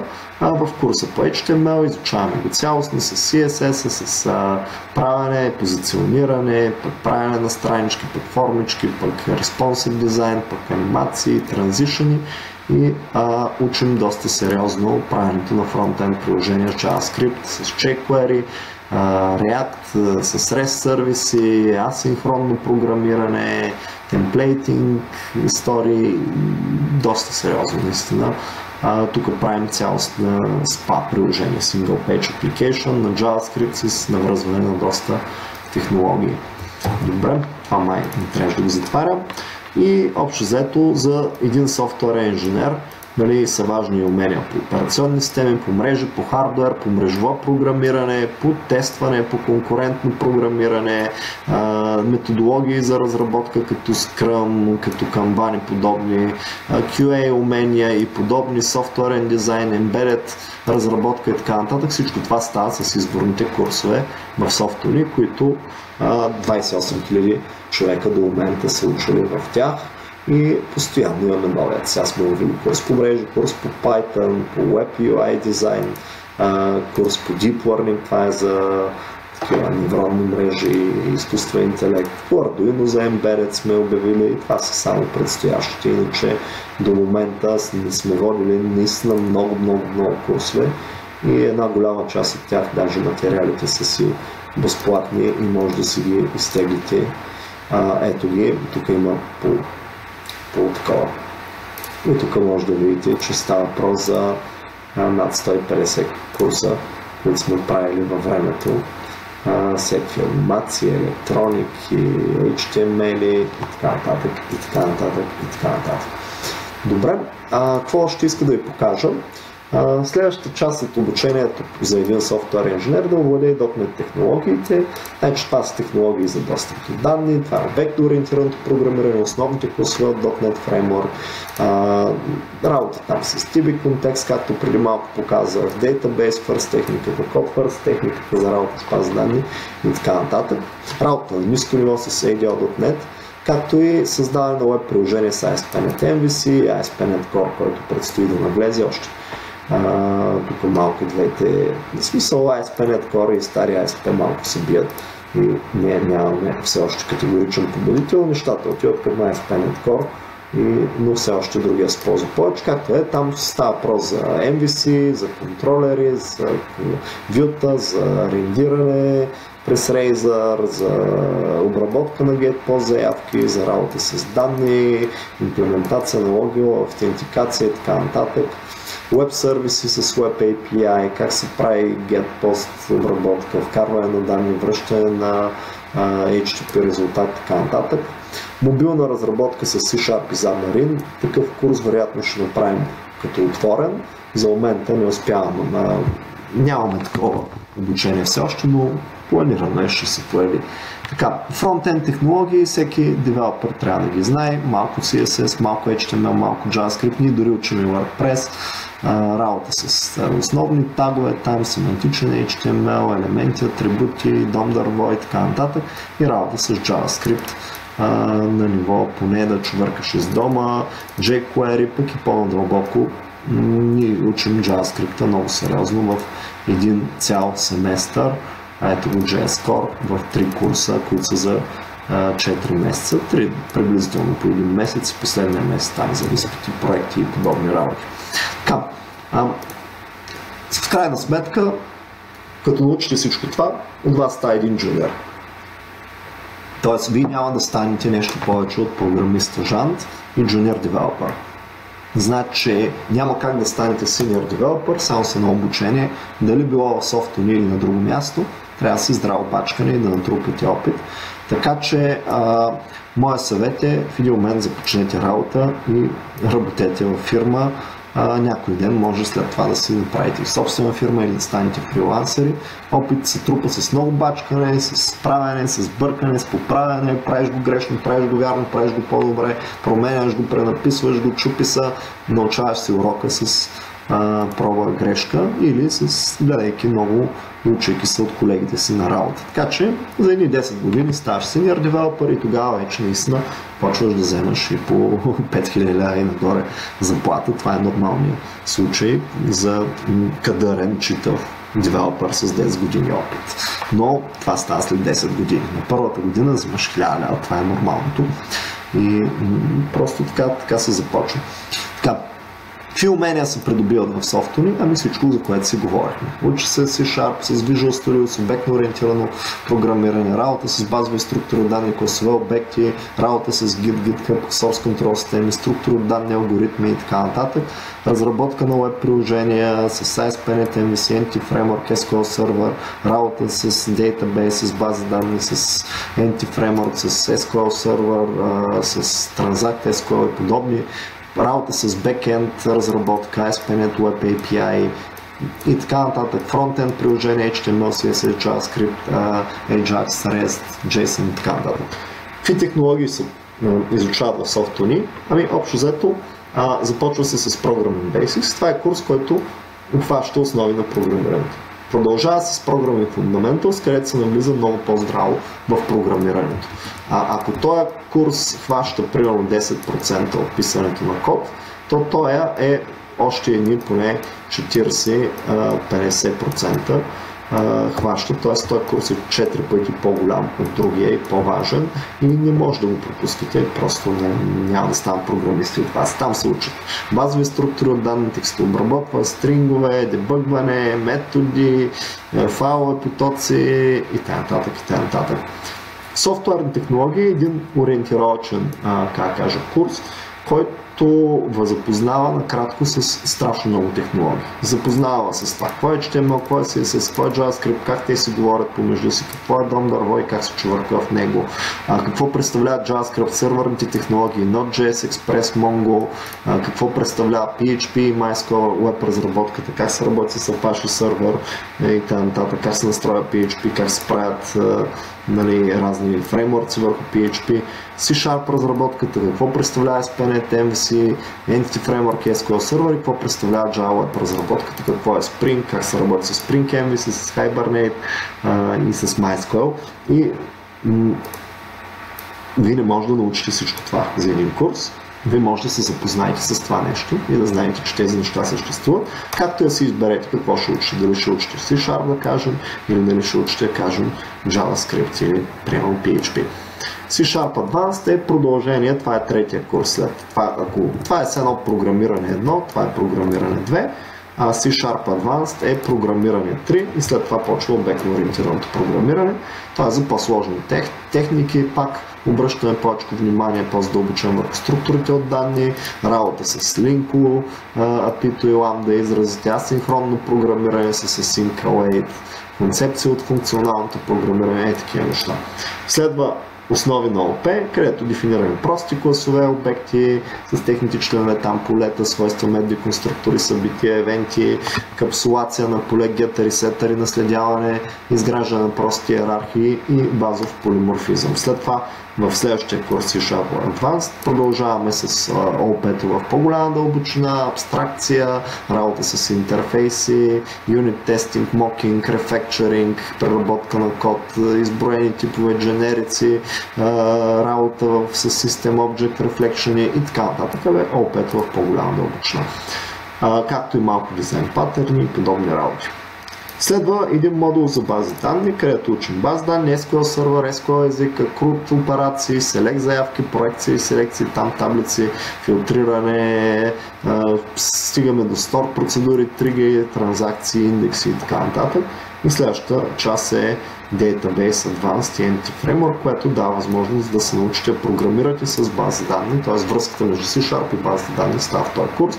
Учи се ADO.NET, работа с XML и въобще работа с данни, връзване на SQL заявка през ADO.NET, продължава ORM системите, Entity Framework, работа с инсталация там през NuGet, Database First Mapping, миграции после на база данни, транзакции, Inverse Mapping, Lazy Loading и т.н. и т.н.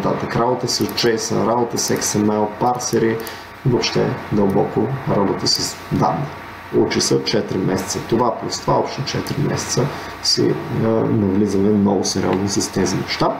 C-Sharp Web Development дава стабилни базови основи. Това е курсът, който учи на HTTP и на работа с GET, POST и въобще изграждане на веб приложение. Тук разбирате в дълбочина анатомията на веб приложението. Как е изградено, как работят куките, сесията, стейт менеджмента, какво е сокет, как става случване на сокет, как се парсва заявка, как се ротира, как, как работи MVC архитектурата. Създаваме си мини MVC и след това продължаваме следващия курс с ASP.NET. Ето тези два курса са други 4 месеца. Това е, е финалния курс, той е най- най-трудния и днес това, което ви показвах, беше основно върху това, но то включва всичко учено до момента. Тоест всички ето тези знания трябва да ги сте ги минали и да ги умеете, за да разберете това, което правихме днеска и как точно работи и да можете да го овладеете. Значи, тук се работи MVC проект с NuGet пакети, с ващане на Getty под заявки, създаване на Razer View, ротиране на заявки, там View, partial View, контроли, байндване, ери, работа с формички, с темплейти, с едитори, с session обекти, кеш обекти, inversion control, inject identity системата на SPN, дори се стигат до WebSocket и какво ли не. И това е общо взето web и това е последния курс от нашето обучение на .NET програмисти. Това е нещо, което търсят фирмите. Само, че те, те като напишат това, всичко останало се подразбира. Много хора казват, е, отваряме обявата за работа, там търсят SQL сервер и ASP.NET. Даре, ама те, е това всичкото отгоре, съм ви го написал, те го подразбират. Защото ти няма как да си добър на ASP.NET без да разбираш ето това, например, без OOP да разбираш, без да разбираш, а, да кажем, ето това, а, как се работи с а, стрингове, да кажем, как се работи с dictionary и така нататък, и така нататък. И имаме три курса по JavaScript, които препоръчваме на всички а, C-Sharp програмисти и два курса по Web Frontend. А, защо? Защото човек трябва да знае тези технологии. Те се изискват за .NET програмистите. Малко са допълнителни, да, малко са екстра, но се изискват. Значи, първо да научите езика JavaScript като концепция, там писане на функции, на цикли, на ламда изрази, работа с масиви и така нататък и стрингове. И това прави по-добър програмист. Научава на функционален език, на скриптов език, защото C-Sharp не е такъв и, и ставате по-добри програмисти.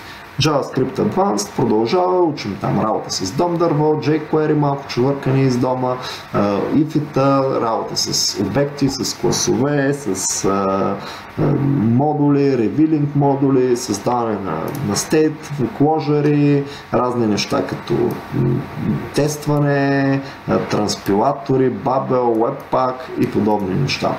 И в последния курс за JavaScript учим uh, JavaScript Single Page Application, където имам REST базиран backend и с REST и Ajax изтегляме данни и ги визуализираме, правим UI на JavaScript, ползваме Local Storage, Session Storage, темплейти, рутинг библиотеки и подобни неща.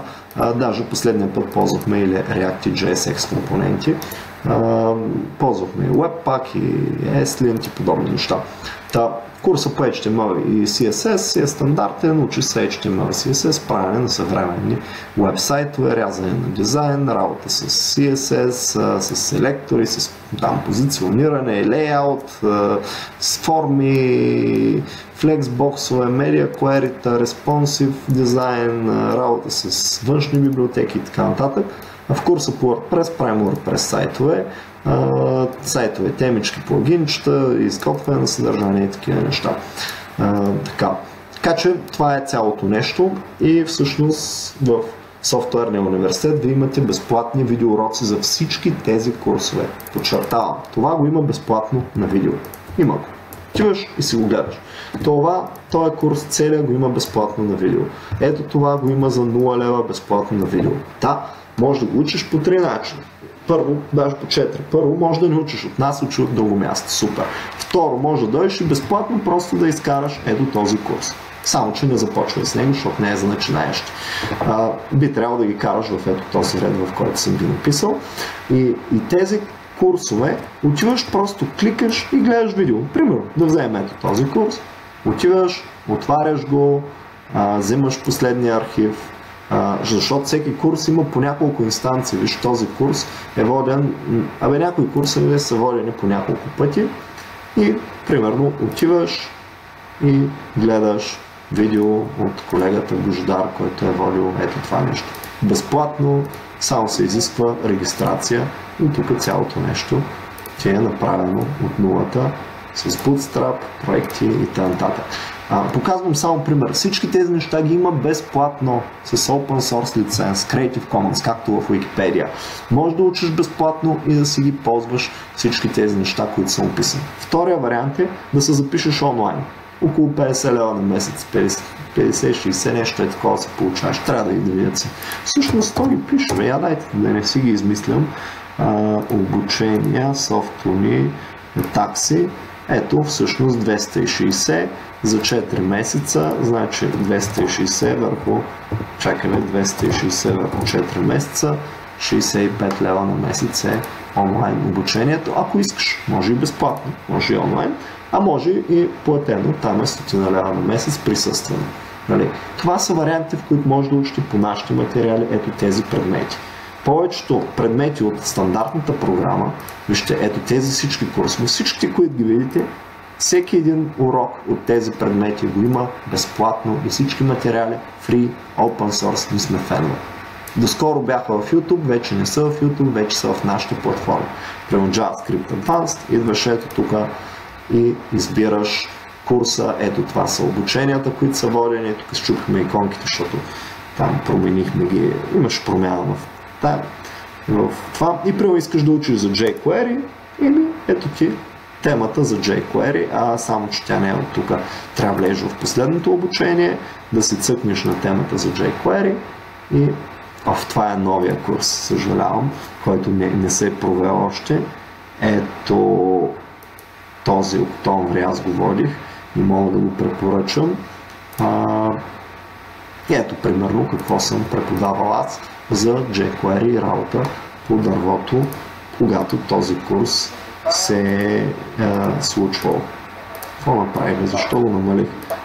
Не исках това. И тук съм показвал учебните неща, писал съм на живокод и т.н. и т.н. Просто показвам. Та, долу-горе това беше.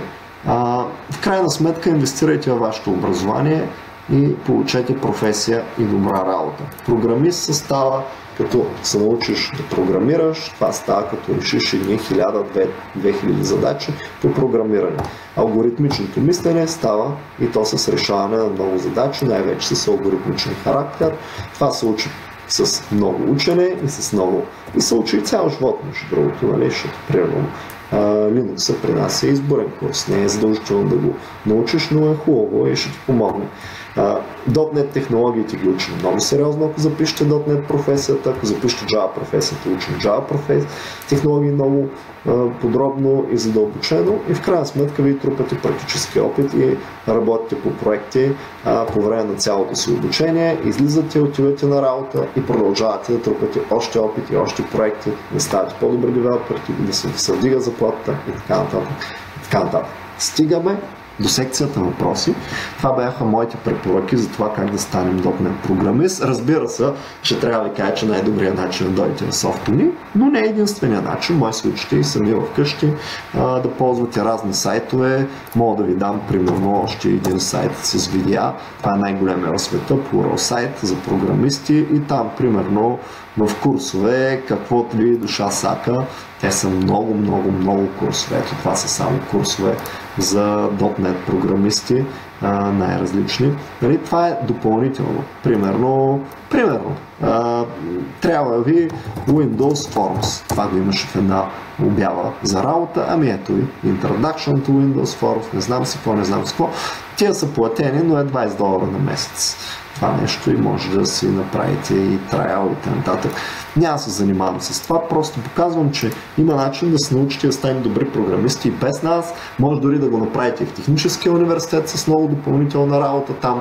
Основното учене ще ви е извън университета или пък в ЕМЕ, или в НъБО, или в някой друг.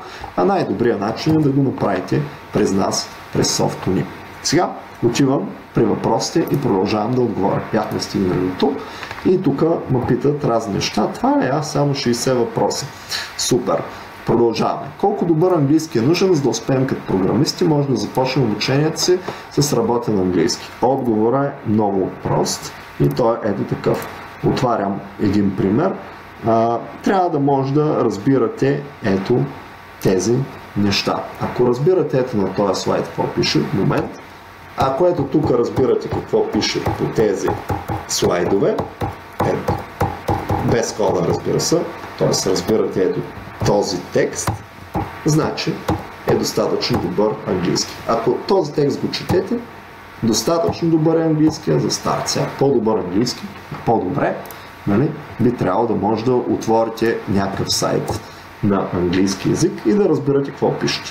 Тоест ето тук да може да ако четете и разбирате ето този код, чисто без термини, в смисъл не код, този текст, чисто като английски, значи би трябвало да имате достатъчно добро ниво. Аз пък къде влязох? Нали? Ето, примерно, ако е това изречение, може да го прочетете и разбирате думичките в него и граматиката, значи е достатъчно. Така че, начално ниво на английски ми е краткия отговор, а, само че се върна на въпросите. Това беше за Михаил Сотиров. Велизар Василев. Имате ли идеи за курс за десктоп приложение, например WPF? Ами, чудим се дали да не го направим с JavaScript този курс. А, имаме такава идея, за сега нямаме преподавател, търсенето е ниско и не сме правили такъв курс, но сигурно ще направим.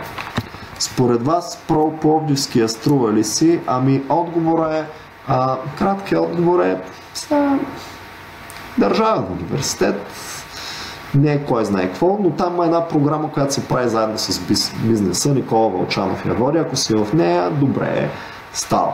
Ако не си в нея, бегай далеч. Говоря за, за програмист, защото струва ли си, нали? ако искаш да учиш археология, не знам. Така, Георги Георгиев, какво ви е мнението за в професията и развитието в България? Ами ще се развива за напред. Все още търсим лектор, който да направи курс курс по DevOps, но това е много трендинг, страшно много се търси, няма специалисти, огромни са заплатите, супер перспективи, така че хващайте се. Да обясня за някои хора, които не са чували какво е DevOps, ами това са програмисти практики в системната администрация. Това е да пишеш софтуер или програми, които вдигат IT инфраструктура, управляват там, вдигат клаудове, виртуални машини, контейнери и така нататък и въобще правят continuous delivery, правят continuous integration и много други неща девелопърски. Тук трябва да имаш дълбоки знания по мрежи, по системна администрация, по Linux, по Windows Server, по какви ли не такива неща и вече специфични инструменти като Ansible, като Puppet, като там разни контейнери като Docker и така. Мартин Зашев, имате ли отзив за ПМГ Благоевград? Ами, какво да ви кажа? Какъв отзив? Ня, нямам никаква идея. А, едно от училищата. Като цяло програмиране в училище обикновено почти винаги е слабо, слабо може би в ТОЕС е така на добро, на прилично ниво а, и може би в СМГ там алгоритмичните курсове. Общо заето не очаквайте чудеса от такива държавни училища, пък то частни няма. И от частните не очаквайте Ангел Гъл, искам да уча програмиране. Кой университет ще ме препоръчате? Разбира се, че софтуни. Ако искаш да учиш програмиране, първо, ако очакваш държавен университет да го учиш, сбъркал си, ами запознай се малко на влез. Идваш тук, кандидатстваш безплатно, ще разбереш какво е програмиране, ще разбереш дали те кефи и евентуално ето тук в края ще имаш един изпит, евентуално ако стигнеш до там, ако ти хареса, безплатно е това нещо, а, единствено изпита има някаква такса, защото не ни идват екскурзианти, след това е го приемен изпит всъщност. Ето тук, след това следва тех модула 4 месеца, около 3-4-5 професионални модула и стартиране на работа и след като поработиш известно време, продължаваш да учиш и може да се дипломираш евентуално, ако искаш. А, така че на въпроса, кой университет ще ми препоръчат? Ами хора, м- грешен е въпроса. Все едно искам да стана готвач, а, в коя кръчма ще ми препоръчате да... или кой супермаркет ще ми препоръчате. Няма връзка.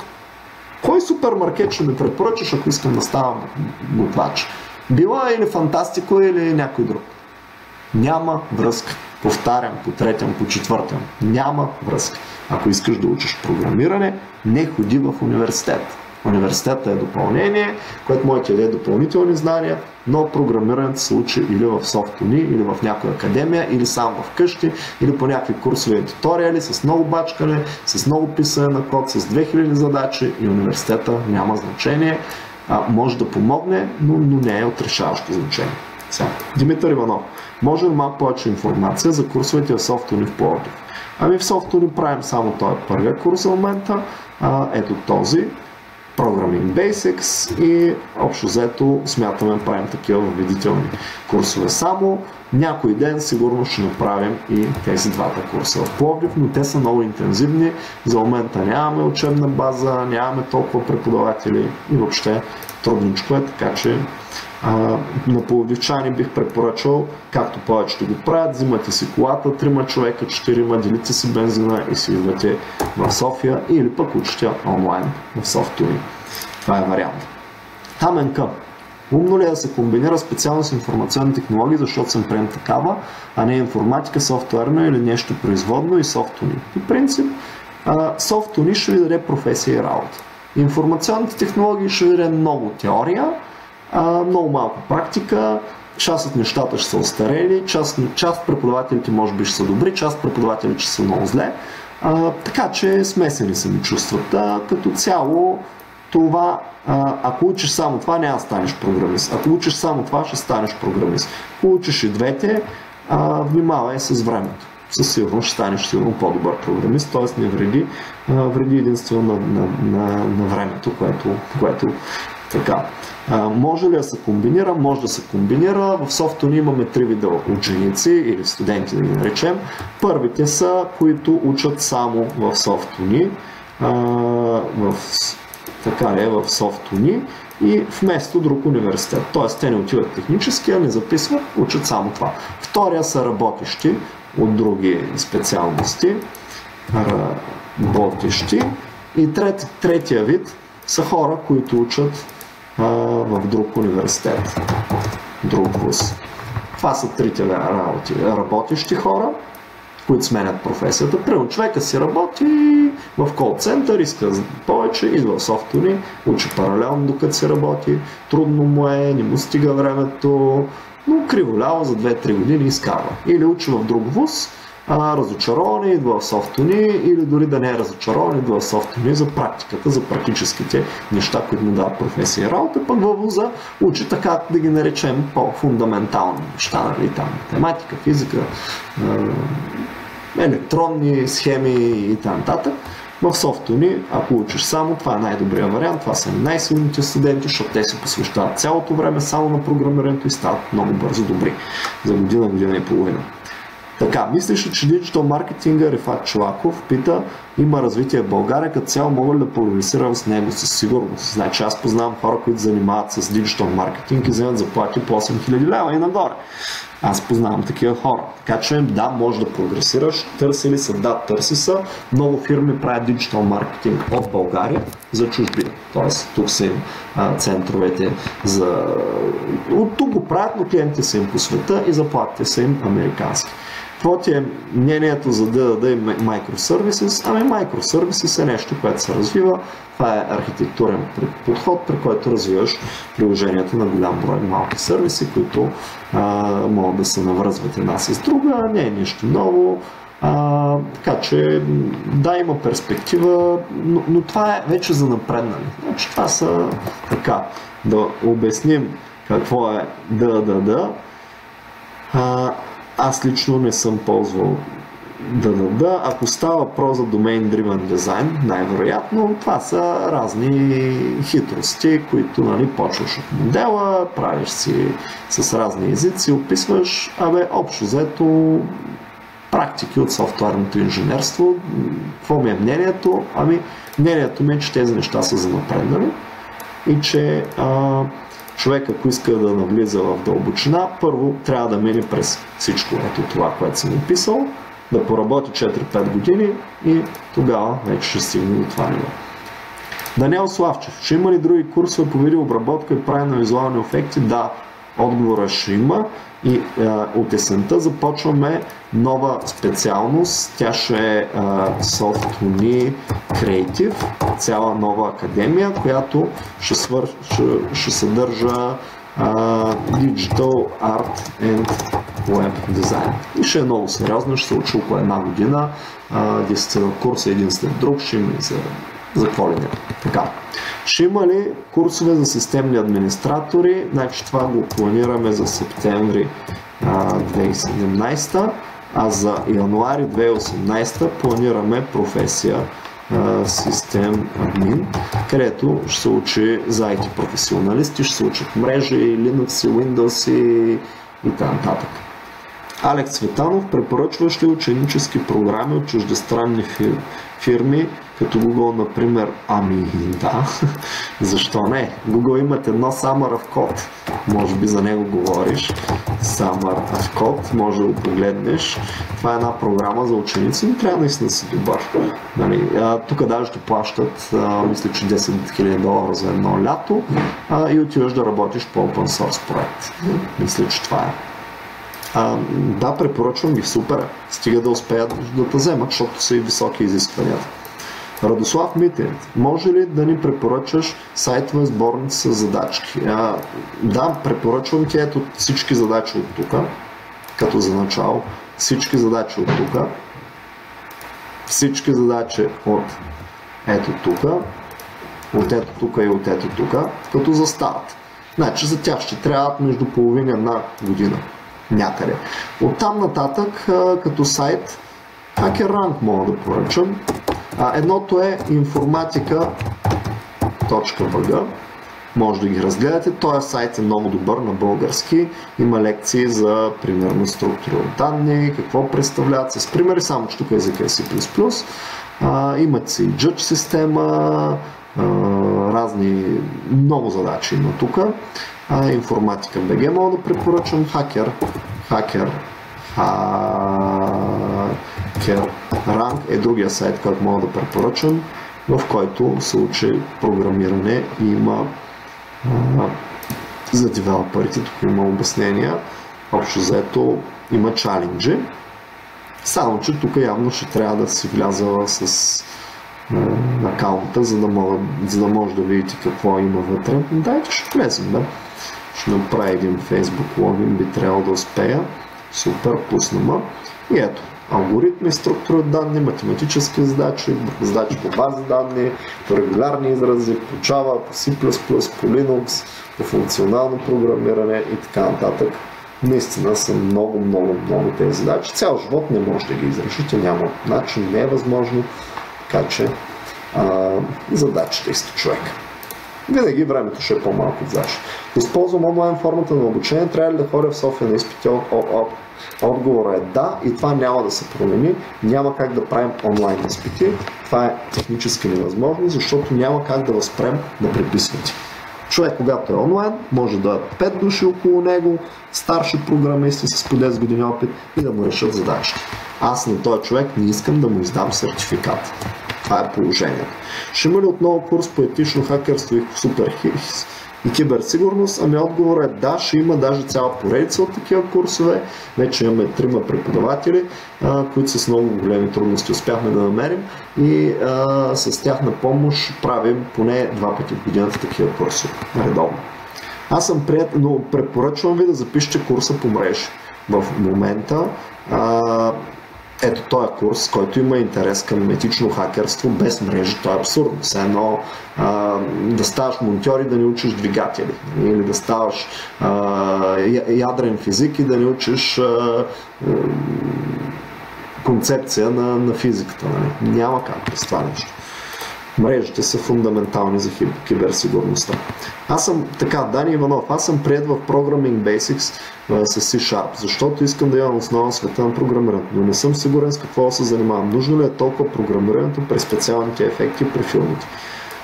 Ами не съм голям специалист при специални ефекти и филми. Най-вероятно ти трябва, ако ще ти трябва програмиране, това са разни скриптове, т.е. програмиране до, до ниво тези два модула. Ако се занимаваш с филми и такива неща, до тук. По-надолу няма нужда за тая професия. А, иначе бих ти препоръчал да наблегнеш на първо на базовите обучения от Software Creative Академията, която ще започне сега септември, а, която ще учи концепции на дизайн, концепции на анимация, основни там инструменти за анимация и след това си търсиш по интернет специфични обучения, например в Linda.com само ако отидеш, аре бе, linda.com, това го купиха наскоро Microsoft. Това е най-големия сайт за обучение на арт, такива неща. Примерно Films, Special Effects. Дайте видим какво ще ми прави. Ами ето как се прави филм, как се прави keyframe, дара-дара, не знам си какви ефекти, ефекти и подобни. И тук наистина има много, много, много курсове цял живот не, не може да изгледате 1% от това. Ако, ако цял живот само гледате. Просто тук говорим за десетки хиляди курсове, които има за какво ли не. Но, но това не ви препоръчвам като старт. Като старт е хубаво да вземете една цялостна програма, която ще въведе в фундамента. Защото ви тук просто има хубави курсове, но ви не знаете от коя помните. От Cinema 4 дели да почне или от 3D Max. Или, като не знаеш, началото е трудно. Затова Software Creative е добър старт. Иван Духов, какво е положението в България на ниво GameDev? Ами има няколко фирмици. А, примерно в нашата сграда има едно Access Software, които си правят онлайн игри и игри за ейки, те ето тези а, игри за телефони. А, примерно има едно Imperia Games, което се занимават с а, е такива онлайн игри а, разни е такива. А, има една Haemimont Games, това е българска фирма за игри, правят 3D игри, ето тук би трябвало да са им заглавията, ето тези са. А, така че има, но общо взето трябва да си много, много, много добър. Тоест, с две думи, ако искаш да се занимаваш с игри, или просто трябва да станеш невероятно добър, exceptional. В смисъл, 10 години да се занимаваш с това, за да почнеш работа, или ще стоиш гладен. Това е положението. Търси се, ама много малко. Само за пример. Сега. Отиваш в JobsBG. Тоест, може ти е интересно, ама няма работа. Пишем Game Developer. Примерно. Аре бе, пич. Аре интернет. Аре търси бе. Game Developer, така, ами както виждаме, 0 обяви има за Game Developer. Виж какво излиза. Офис консултант, фронтенд, графичен дизайн, просто не се търси. Няма Game Developer, бе, търсят се телефонисти, както виждате, Customer Support в Пловдив с а, индийски язик. Нали? Senior Java Developer, значи Game Developer няма. Само за сравнение. Ари бе, пич. Тоест, Java Developer. Тоест, според мен, Game Development е много хубаво забавление, но не е професия, с която можеш в България си изкарваш парите. Или трябва да си ужасно exceptional добър. Да си в топ а, 1% на най-добрите. В... И тогава ще можеш да го работиш. Аре бе, написах Java Developer. Java Developer. Да да търси. Защо не им работи? О, хора, това не им работи търсачката на тези. Защото търся защото търся на грешно място, извинявам се, Game Developer, просто грешно поле. Game Developer, виждате ли някъде да има Game Developer? Ми, 2D артист. Това е нещо, Game Developer, един се търси, а, Ruby, значи в момента има, доколкото виждам, една активна обява за Game Developer. Най-много да има и още една. Така, връщаме се и пишем ето тук Java Developer. Блок и тук вижте какво става. Java Developer, Senior, Junior, не знам си къв, пак Java Developer, Web Developer, пак Java Developer, т.е. това се търси 100 или 200 пъти по-малко. Тоест шанса да станеш C-Sharp програмист е 200 пъти по-голям, отколкото от Game Developer. Това е положението. С две думи, не е добра перспектива, колкото и да ти е интересно, колкото да ти е готино и запал. Говорите за паралелно обучение в университети, които са партньори на софтуни. Понеже съм от Варна, какво ще кажете за ВСУ? Супер е! Варненския свободен университет е супер, много е на ниво. Там единственият минус, който аз мога да намеря е цената. Все пак частен университет, скъпичко си. Това е. Това е единствения минус. Много добър вариант е. Хубав университет е, будни са хората, супер гъвкави са. А, така че нали, от софтуни ще получите практиката и програмирането, оттам ще получите допълнителни предмети, които са голямата част от тях смислени и така че препоръчвам. Да. Доколкото разбрах, ако изберем разширение тех модул, губим втората част от курса така ли. Всъщност, сега обяснявам за какво става дума. Значи, тех модула в софтуни има две части. Първата част е а, Programming Fundamentals. Така, това е в разширения му вариант е 3,5 месеца, а след това имаме софтуерни технологии,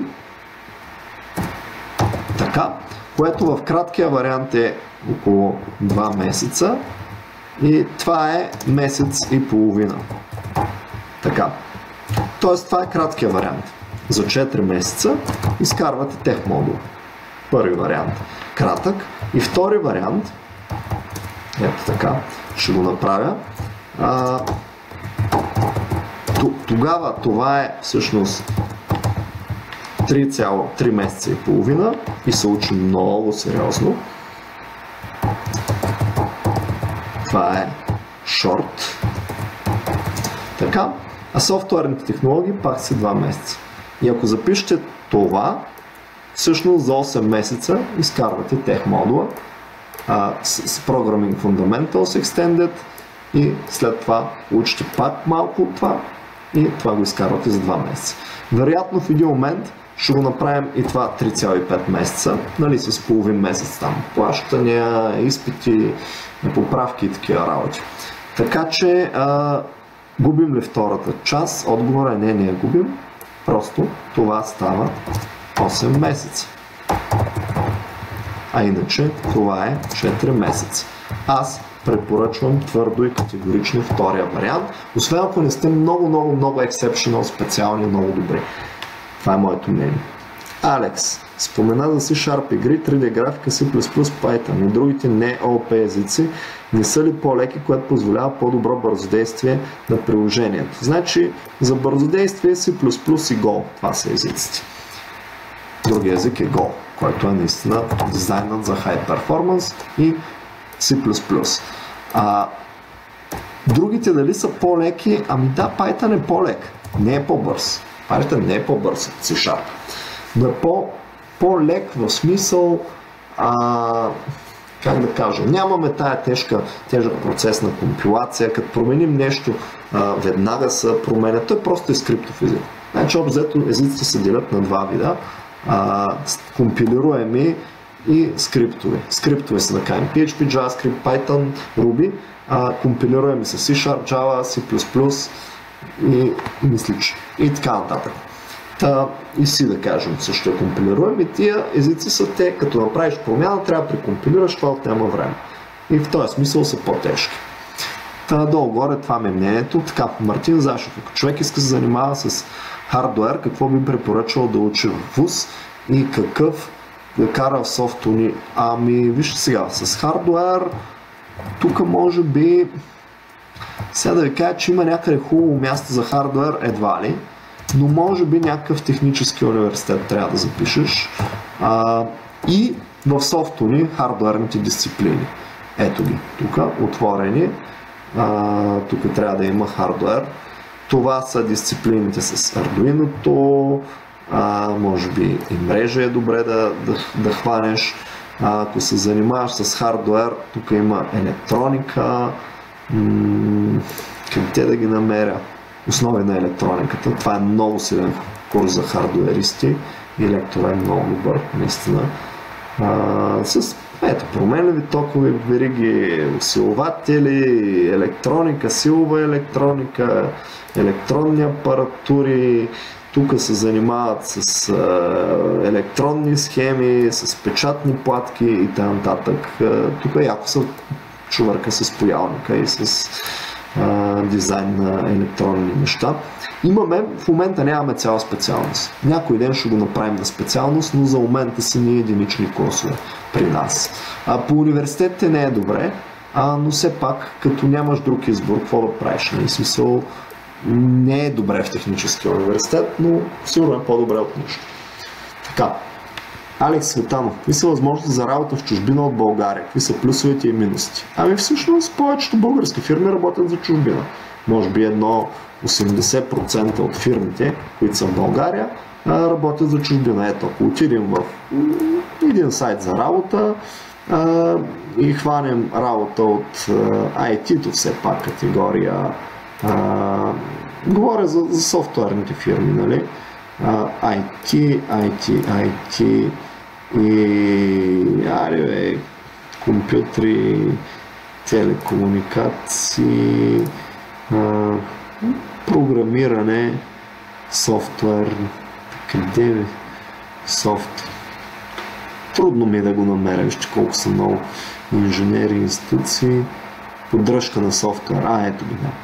Тия са IT-тата, даже тия ще ги махне телекомуникации. Сега какво се получава? Кои са?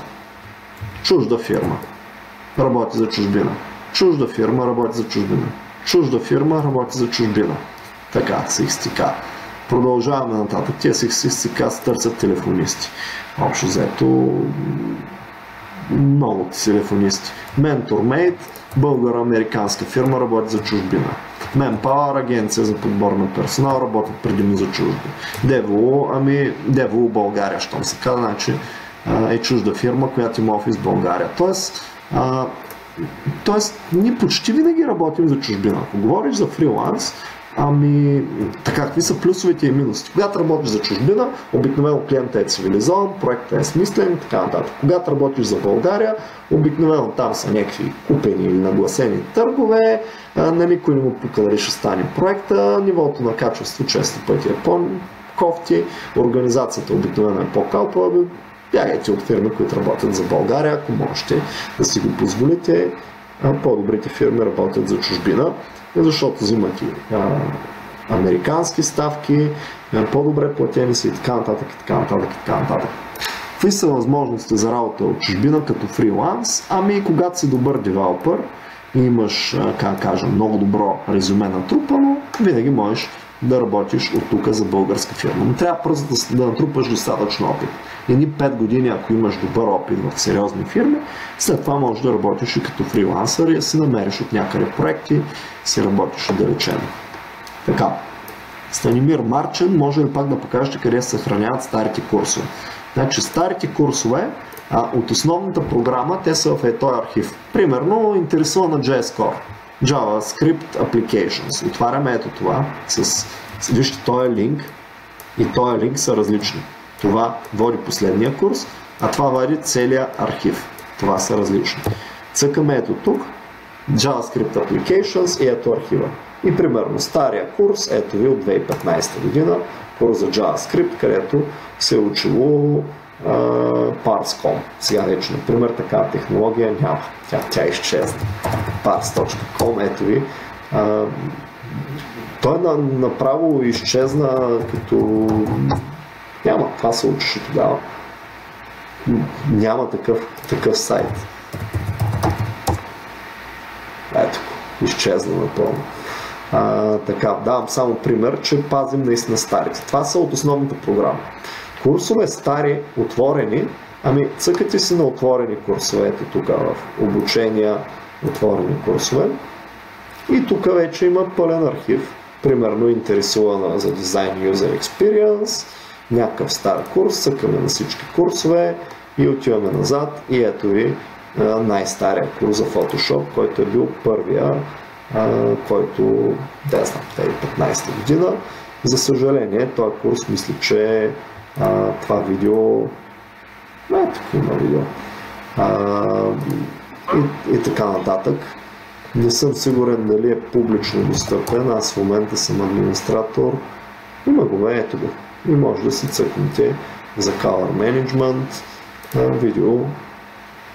Има го. Без пари, без нищо. Идвате и си гледате. Но не са всички курсове така. Някои курсове по природа са платени и а, в момента не може да ги гледате, ако, не са, ако са минали. Примерно, просто има и безплатни, има и платени курсове. Съвсем нормално и ни трябва от нещо да живеем. И затова някои са фри, някои не са.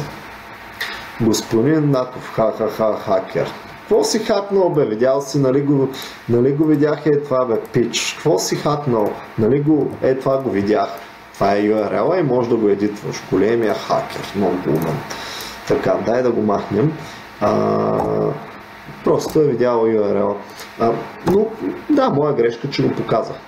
А, така, от тук Добре, аз ще го прекопирам, за да не вземат и други да правят такива неща. Няма смисъл момчета и момичета са базиките. Кой печели сега?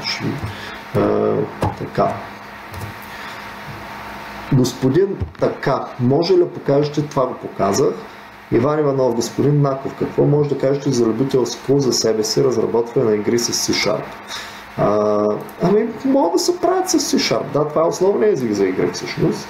А, всъщност спорно е, може би зависи от типа на игрите. Ако са мобилни игри, може би се пишат на, на Java или там на съответния, а, на съответния език за платформата. На C-Sharp се работи с Unity. Значи Unity е най-голямото, как кажа, най-големия гейм енджин на света, най- най-сериозния, най-популярния, най-ползвания и там се пише на C-Sharp. Тук основният език е C-Sharp.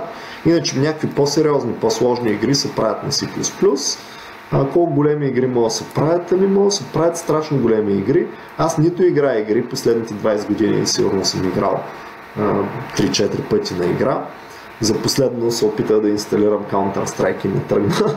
А, така, а, не игра игри и не съм аз специалиста, но Unity 3D 100% ако отидете тук някъде в шоукейса Made with Unity, може да видите някакви примери за неща правени с Unity.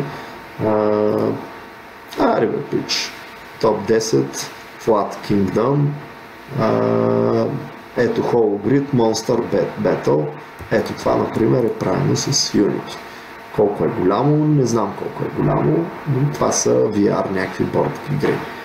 Е, такива неща правят хората. Поразгледайте тук. Наистина не съм специалист по игрите а, и, и не искам да ставам. Просто защото това не се търси. Да, интересно е. Но аз не искам да съм гладен. Нали видяхте колко обяви има за работа с игри? Мен не ме кефят игрите, нямам желание да си запилявам времето там. Много по-бих се занимавал с а, а, други неща. Ето, примерно Vertigo Games е направил Arizona Sunshine. Ето тая. Ето ви пример за една според мен голяма игра, която е правена от някакви Vertigo, не знам дали са известни. Честно казвам, ми кажа, не съм геймър и ето правят някакви е, отвратително. Така. Това е за игрите. Продължаваме нататък. Кога Google, Facebook и Microsoft ще наемат хора от Softuni? Ами, между другото, имахме а, такъв опит. А, Истината е, че хората просто трябва да натрупат време. Тоест трябва да завърши софтуни, което от те първа наскоро завърши първия випуск, трябва да поработи или 4-5 години, да станете добри програмисти и след това кандидатствате в Google. Това ще се случи. Примерно хора от мои курсове в момента им е пълно в Microsoft и Google, само че не от софтуни, от предните фирми и места, където съм преподавал. А, така че просто това отнема едни между 5 и 10 години. Така. Иначе последния път едно момче, което беше завършило софтуни, не му дадоха виза а, за Microsoft, а, защото се оказа, че а, няма висше образование, они искаха. Беше абсурдно, не знам защо. Явно американците са някакви малко по- по-странни душички. Той се оказа, че не е нито студент, Значи може да нямаш висше образование, но трябва да си студент. Ако си студент, може да отидеш на студентски стаж в Google, Facebook или Microsoft. Обаче той трябва да запише специално някъде студент, той беше прекъснал и не можа. Пример, ни давам, нали, колко е абсурдно. Ако, значи, ако може да, да си студент в официален университет или да имаш висше образование или просто си добър. Третия вариант. Ако си добър, няма никакво значение. Е, сега някой се базика с нас. Това е това, бе, хора. Ха, хакерман. Да не си хакер, бе, човек. URL го има отгоре. Като го напишеш, може да едитват. Голем, много, много голям хакер. Право. Така. Евгения Танасов. Ако се започне с Program Basics на Java, то на ще продължи в Programming Fundamentals? Отговор е в момента на C-Sharp, като ще имате една седмица курс по C-Sharp, т.е. да мините това, което сте учили в Programming Basics на Java, да го научите на C-Sharp и ще го учим в C-Sharp. Причината е, че просто нямаме, този курс е 5 пъти в седмицата. Ако говорим на 6 езика за програмиране, означава 6 учебни зали, нови, които трябва да имаме. Добре, явно, абе спрете да се базикате, няма нужда, никой не печели. И аз мога да напиша ето това. Добре, чакайте да видя дали мога да uh, и казвам off. Are you sure? Yes. Поне да го, защото тук някакви хора саботират процеса. За какво го правите, бе, хора? Какво печелите? Много сте умни ли? Не знам. А, така. И пламена.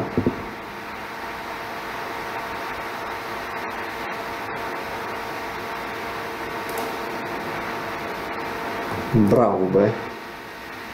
Еми, загубихме ги. Поздравления на, на идиота, който направи това. Пълен идиот. Не знам защо го направи. А, и ви изтри въпросите. Еми, има някакви хора, които ви желаят доброто, както видяхме. Не знам какво може да направим. Взе някой и какво открадна документа. Голям хакер. Много стилни бе хора. Добре, че си копирах въпросите. Така. Връщаме се с а, така, така, така. Поне хубаво, че ги копирах, защото подозирах, че някой идиот ще направи тази идиотщина, която направи. Какво печелите, бе хора? Показваш, че си умен или какво? Така, ако започне, може да се продължи. Тук отговорих на този въпрос на Евгения Танасов. Петър Неделчев. Къде кариерният център въжи ли за онлайн? Студентите покрили изискванията? А категорично да, със сигурност.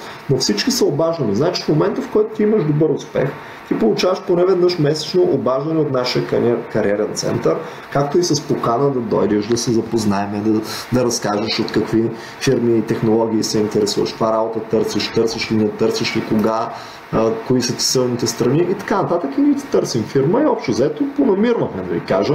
Общо взето почти, почти не може да се случи някой, който а, има добър успех, да не може да му намерим работа. Освен ако не търси. Това е в честия случай. Ако не търси, не му намираме, защото просто не иска да работи. Така, здравейте, иска Bionic Body Rod, не знам кой, а, и момче ли момиче ли, не може да кажем. Здравейте, искам да питам, понеже видях, че дата за изпита да си шарп курсовете е на 7 май. В момента съм възпрепятстван, докато се готвя да така, така, аз съм записал за те. Моля да дойде на 11 юни. Разбира се, че може да, просто трябва да се обадиш в softuni.bg slash и да те прехвърлят за следващия път. А, освен това, всеки път, когато има изпит по даден предмет, може да дойдеш, ако си карал веднъж този предмет, да дойдеш на поправка. Така че може да дойдеш и на единия, и ако не си доволен от оценката от 7 май, да дойдеш на 11 юни и да а, това въжи за всички и да изкараш по-добра оценка. Тук мисля, че ще ти искат някакво доплащане 20 лева, защото второ е, първото явяване е към таксата за курса или там към, а второто е има такса за поправка, защото иначе имаме много туристи, екскурзианти, които просто ще да се пробват без да се учим. Петко Петков, въпросът ми е малко страни от тяното, че съм благодарен, ако може да ми отговорите. Как се защитава от правна гледна точка софтуерен продукт с цел кода да не бъде буквално копиран и да не се открадне конкретна идея за дадено мобилно приложение? За конкретна идея не може, практически не може да се защити, но може да пробваш с а, патентното а, ведомство а, да регистрираш полезен модел или какво беше. Патент няма да ти позволят за софтуер, не може. Може би полезен модел или нещо там от техните неща. А, така. Как а, се защитава кода да не бъде копиран? Ами с те наречените обфускатори. Значи прочети в Wikipedia обфускатор Wikipedia. Има за всички езици. Просто се прави кода, кода се разбърква, за да не може да бъде прочетен. Ето вижте какво става. Ето, ето така почва ти изглежда кода и ако някой го открадне, нали разбираш, че това не може да го прочете. Ето, ето това е пример. Това е пример за обфускиран код. Това е пример за обфускиран код. Има програмки, които вземат това код и правят обфускация. Така се защитава. Иначе от правна гледна точка от правна гледна точка, значи, да ти откраднат идеята, това е смешно. Няма такова нещо. Някои направили а, нещо, всички го прекопират, така е било винаги, така е в автомобилната индустрия, навсякъде. Това почти не може да се защити. А, и не би и трябвало. Аз съм даже против. Какво значи да ти открадне? Ами, който е по-бърз и по-добър, той, той е с тази идея. Все едно аз да защитя и да кажа, никой няма да прави курсове за програмисти защото аз съм се сетил преди тях. Няма такова нещо, света е свободен. Така че брой патентни ведомства, полезни модели и подобни неща, свържи се с адвокат от патентно право и така нататък. DevOps набира голяма популярност върху какво трябва да се съсредоточим, за да влезем в този бранш. Ами със сигурност за DevOps а, трябва да изкараш поне базов курс по програмиране. Абсолютно задължително. Препоръчвам и това. От там нататък препоръчвам обученията по мрежи. А, сега ще ги покажа. Значи по-скоро е така, ще намеря Softuni, Softuni Network курс. Верно ли бе?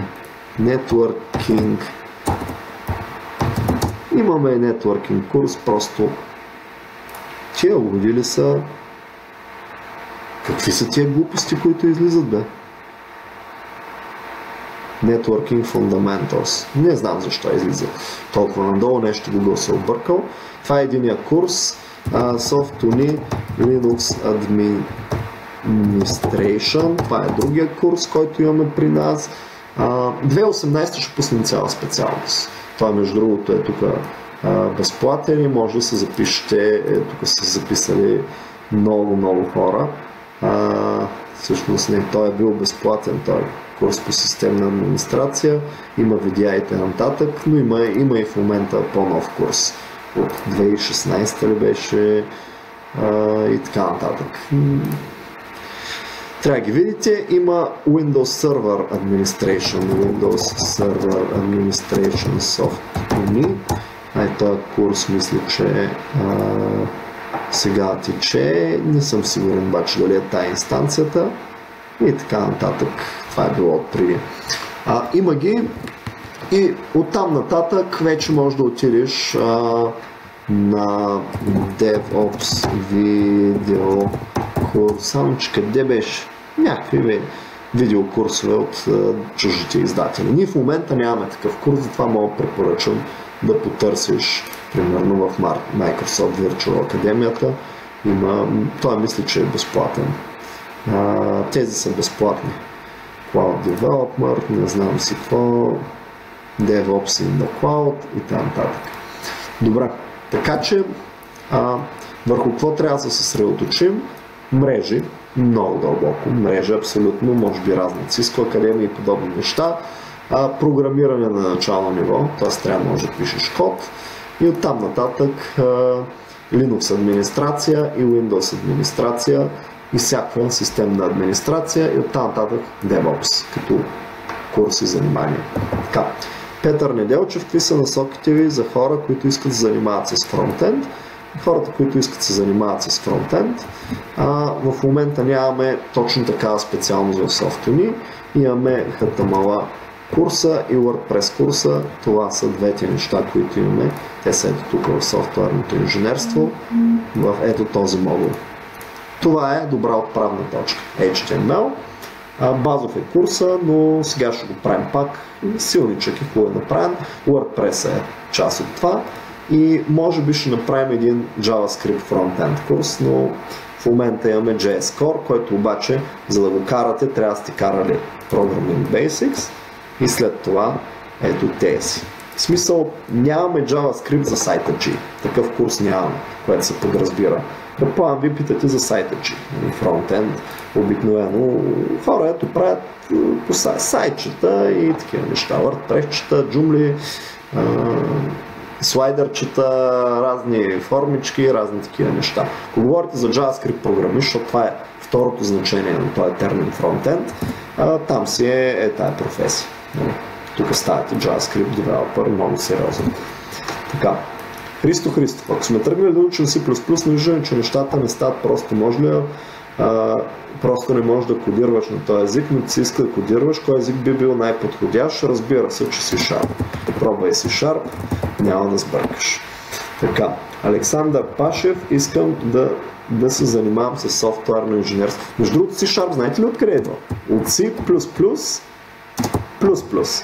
И като кръстосваш тия плюсове, визуално, нали, имаш плюс, плюс и тук имаш плюс, плюс и се получава C Sharp. Това са 4 плюсчета. Ето, плюсче, плюсче, плюсче, плюсче. Тоест, C Sharp е всъщност C++, плюс плюс. Плюс плюс над C++. Това е C Sharp. Поне така са го измислили Microsoft на време. Да бъде по-добре си C++. И много по-лесен, много по-удобен за ползване, много по-малко код пишете, с малко усилия пишете много неща. Не знам, все едно да чистите леща с боксови ръкавици. Може, ама по-добре да ги махнете да обуйте един език като C-Sharp и така. C++ има приложение при някои специфични нали, места, където се търси перформанс, където се търси работа на ниско ниво и такива неща. Взето езика, който се ползва относително малко. На пето място е в България а, сред софтуерните фирми като търсене. И се търси много по-малко от PHP, да кажем, или от JavaScript. Александър Пашев, искам да занимавам софтуерно инженерство. Искам малко по-подробна информация за това как да практикувам, какви езици ще ми трябват и така нататък. Това е все едно, искам да стана ядрен физик, може ли тук за две минути да ми обясниш. Значи, записваш се в софтуни, ма не след 12 клас, сега, сега, сега. Александър, отвори ето това. Софтуни БГ. Съкни на Apply. Ето тук. и се запиши по най-бързия начин. Не чакай да завършиш, това е груба грешка. Значи, за програмирането трябва човек да стартира в четвърти клас, ако иска да стане добър. Както ако искаш да станеш футболист, не почваш на 20 години да тренираш, защото на 20 години вече си за пенсия, се вика, а, а почваш на 10 години да тренираш. Същото е и за програмирането. По най-бързия начин. Не знаеш какви езици. Ами ще разбереш. Нали затова сме ни. Идваш тук. Научаваш се какво е да кодиш. Идваш тук. Продължаваш да кодиш и се научаваш да програмираш на прилично ниво. Като писане на код. Идваш тук и тук ще разбереш кои са езиците. Значи тук ще запознаем с HTML, с CSS, с JavaScript, с PHP, с HTTP протокол, с MySQL, с C-Sharp, с Java и те нататък и те нататък. И там ще разбереш, там ще избереш. Погледнете колко неща. Ето всичко това ще ти мине през ръцете. Гарантирам, обещавам. Аз говорих лично, аз съм го разработвал този курс начало. Всички тези неща, които са изписани, Ajax, HTML, REST и подобни, ще ти минат през ръцете, ще се ориентираш. Това ти е пътя. Значи, като гледам навсякъде из интернет, трябва да се учи математика. Къде го гледаш, бе, пич? Пълна глупост си написал. Съжалявам, че таката нападам, обаче пълна глупост си написал. Кой ти го каза това нещо? И, и първо. Второ, ако е, искаш мнение, искам мнение от експерт. Питай мене, питай някой, който е добър програмист. Защо четеш форумите? Не четеш в БГ Мама. Аз ако искам да стана футболист, а, къде ще чета? Във форма на БГ Мама или ще, ще си поговоря с треньора на някой а, отбор от тази група той да ми даде съвет. Значи аз мога да ти дам съвет за програмиране. За математиката пак се връщам. Наков, математика. Математиката се учи после. Защото ако тръгнеш с нея напред, много бързо ти става скучно, става ти а, досадно, намразваш я и никога не учиш. И ни програмист ставаш, ни математик. Значи първо се учи програмирането, обърнате подхода от практика към фундамент. Или поне това е моята препоръка. Ти ако искаш си щупи главата, има хора, които пък математиката им се отдава, които тръгнат от нея. Няма лошо. Но за масовия програмист не ти трябва математика в началото, а, за да станеш едно средно, знаеш, добро ниво програмист, не ти трябва почти никаква математика. За да станеш някакъв exceptional програмист, вече може би ще трябва да се запознаеш с някои математики. Примерно за машин learning нещата ще трябва математика. Така, искам да занимавам с софтуерно инженерство, мисля след 12 клас да учиш софтуер. Пак ти казвам, това е грешно съждение. Не след 12 клас, сега. Почни сега. Какво трябва да знам, за да мина приемния изпит? За да минеш приемния изпит, трябва да се запишеш на този курс абсолютно 150, 190, 1000% от всичко, което трябва да знаеш за да минеш учебния изпит е ето тук в този курс. Нищо извън този курс не трябва да знаеш, за да вземеш приемния изпит. Така. Доста работи в JobsBG са за Web Developer. Заслужава ли се или да продължим на системен език? Отговорът е, че 80% от софтуера по света а, е веб базиран. Това е положението и затова и в четирите професии в софтуери учим яко веб разработка. Заслужава ли си твърдо да, категорично да, това е нещо, което заслужава най-ново. Да кодираш на системен език, ако имаш предвид чисто си, да и там има работа, просто е по-малко. Ако такива пиши го. Мартин Петров. 30 април приключва Extended версията на Programming Fundamentals. Да, забелязвах, че следващия курс, който логично искам да продължа, понеже много ме допара, C-Sharp Advanced, е по-скоро ускорен. Евентуално има ли вариант да се появи по-нататък негова Extended версия? Отговорът е не. А, не може просто няма... Значи, всяко едно клониране на един курс означава още зали и още преподаватели. Не може да го правим, хора. Сиренето е с пари. Знаете ли колко струва една зала? 50 хиляди лева е начално минимума, от който стартираме за да се случи и след това по 2-3 хиляди лева на месец. На нас не струва една зала. Значи, ако, а, а отделно заплатите на, на преподавателите. Ви представяте за какво нещо става? Не може да го правим, съжалявам. Затова това, което има, това е, което може да ползвате.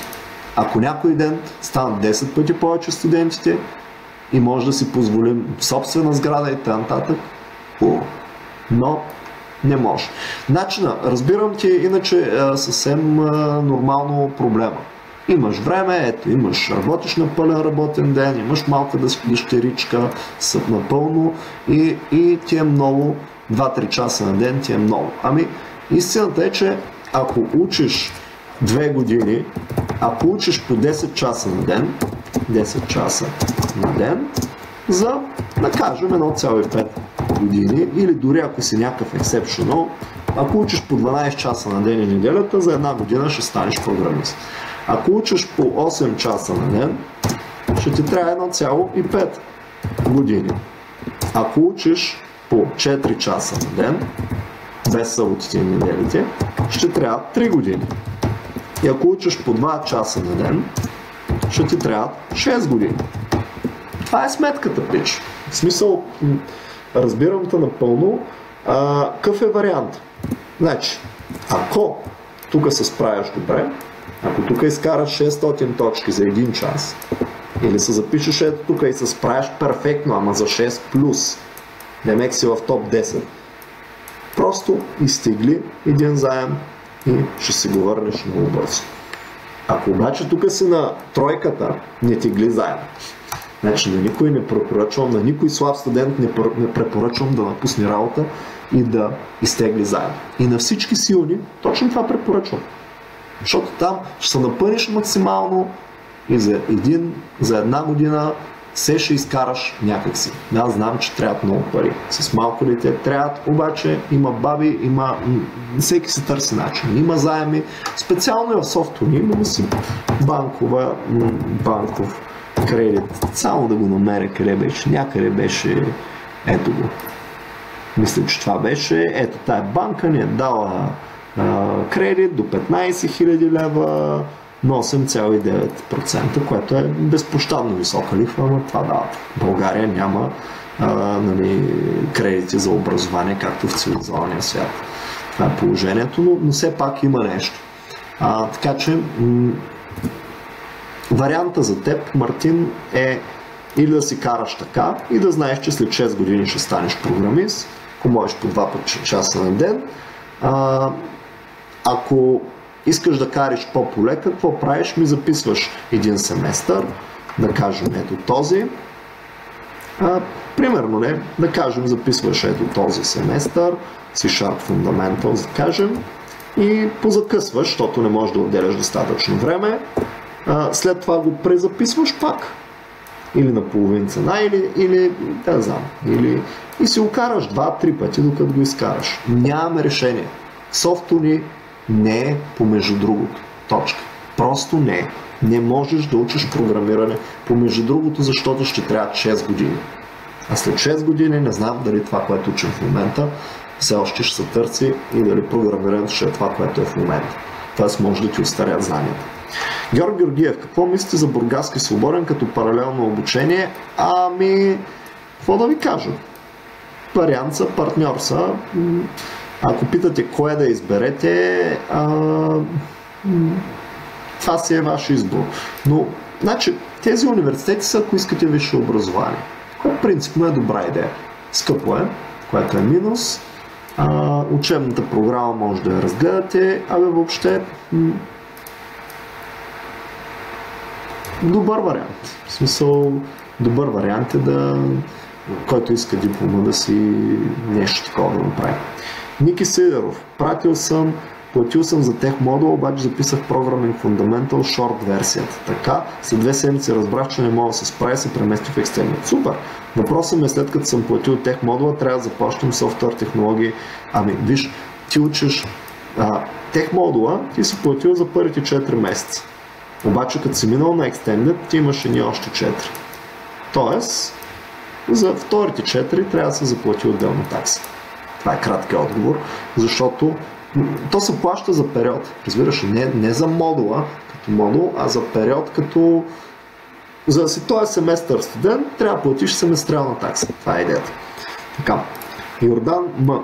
Започвам първия си курс за начинаещи програмиране с C-Sharp и .NET. Добре, начало ли е това и как да се развивам а, и какво изучавам, да изучавам след курса. Ами, а, ако, ти харе, ако си захванал първия курс за начинаещи, как да се развиваш, продължаваш естествено в тех модула. Това е което аз препоръчвам и си изкарваш. Ето, този курс, който е втория курс. Това е все едно програмиране едно, това е програмиране 2. Продължението. Трябва да ги изкараш и двата, След това минаваш софтуерните технологии и от тук си избираш професия. В този момент ти ще бутнеш 4 професии за C-Sharp, за Java, за JavaScript и ще решиш кое най-много кефи и би изучавал по-дългосрочно. Така, някой изтри, а, както си спомняте преди малко, нашия документ и, а, съответно, а, върнали сме го. Някой успя да го върне. А, така. И не можа. А, това е Ники Сидеров. Йордан М. Христо Христов. Джавата набира ли популярност? Ако да, защо? Ами, по-скоро джавата държи популярност от преди. Сега в последно време дали набира популярност, най-много популярност набира JavaScript. Това е истината. А, набира ли джавата популярност? Ами... Какво да ви кажа? По-скоро дърпа назад. Но, но това си е мое мнение. Може, може много да, да се така. Това са всички въпроси.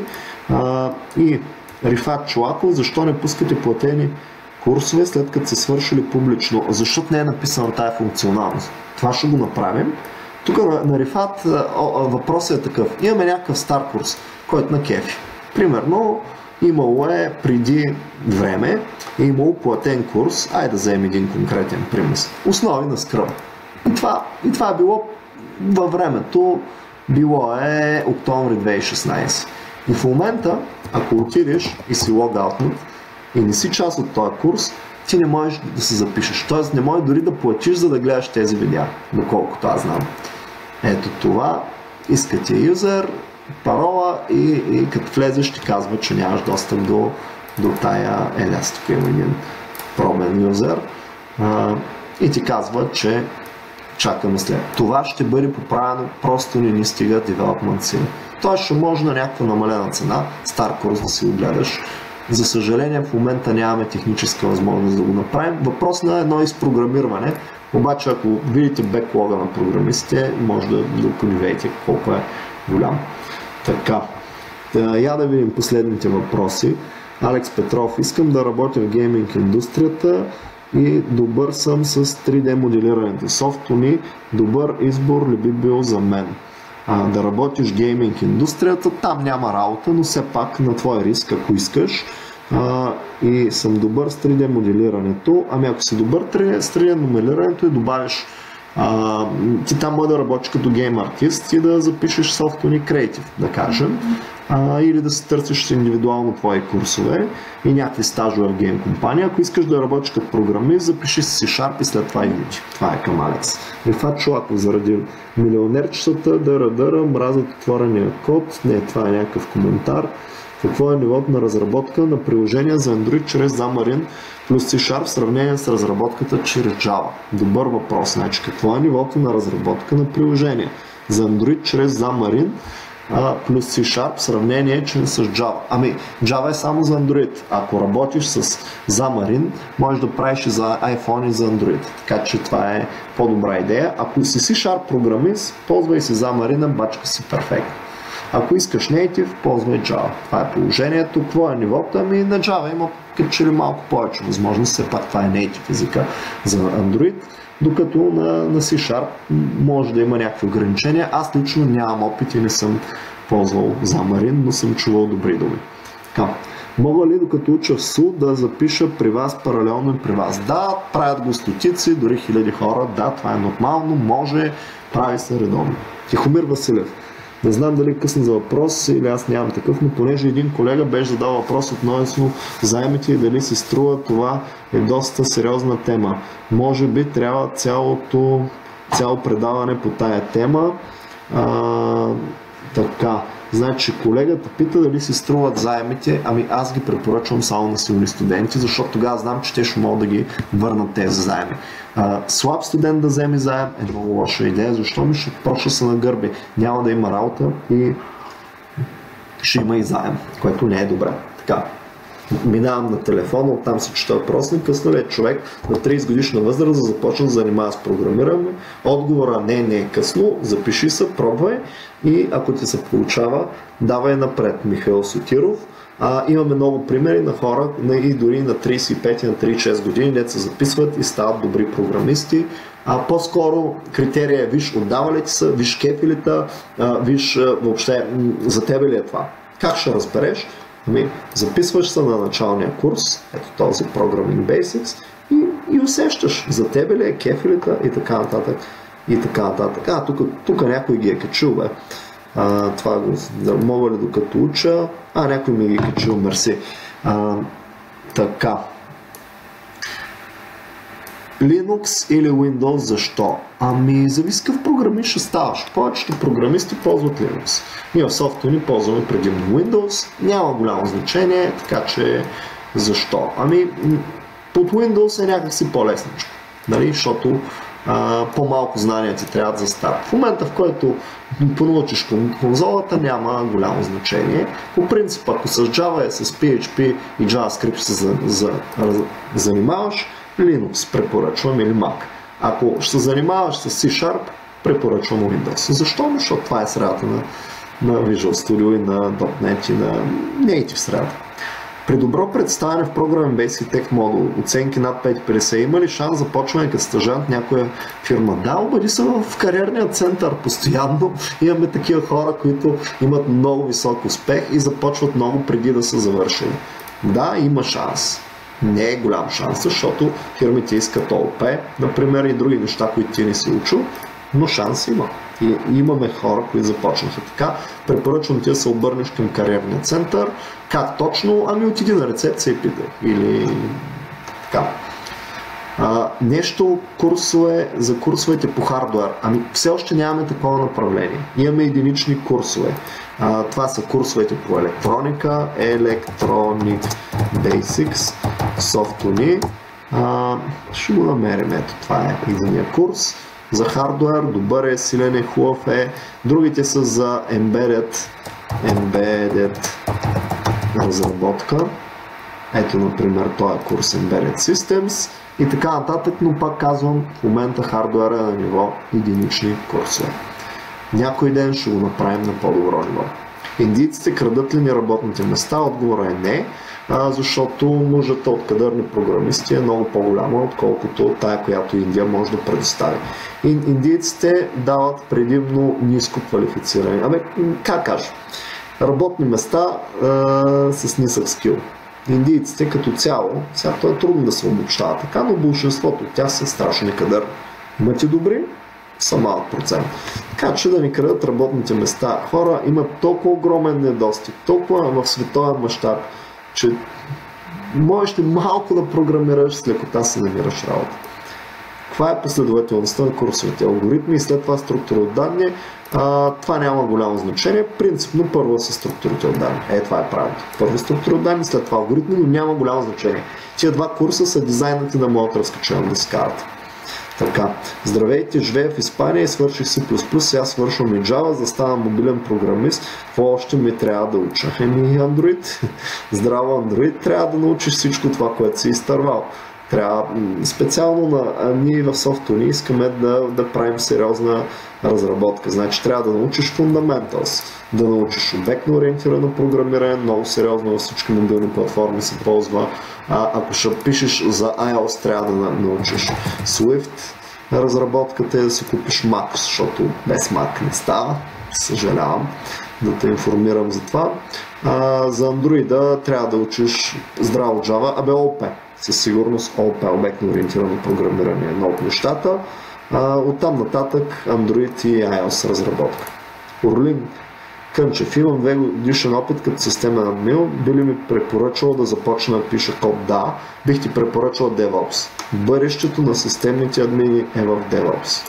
Това е факт, световна тенденция, но там отива. Затова бих ти препоръчал, щом си нали, две години админ, бих ти препоръчал поне този курс като да се запознаеш с програмирането и след това търсиш някакви курсове за DevOps, просто ще станеш по-добър админ. Админите, които програмират, са много по-добри админи. Така, Raiders, UTD, има, има ли вариант след като завърша Programming Fundamental да започна да правя професионалния модул C-Sharp Web Developer, вместо да карам тех модула. Принципно е разрешено, не го препоръчвам, но принципно е разрешено. Ако отидеш на рецепция на стоял, ще запишат а, за модул C-Sharp Web Developer. Само, че, само да уточня, C-Sharp Web Developer е последния модул. Значи, много груба грешка е да карате това, ако не сте изкарали тези двете. Пак повтарям, това е последния модул. Тези двата трябва да сте ги минали. Все едно да се запишеш на английски язик трето ниво. Не става бе хора.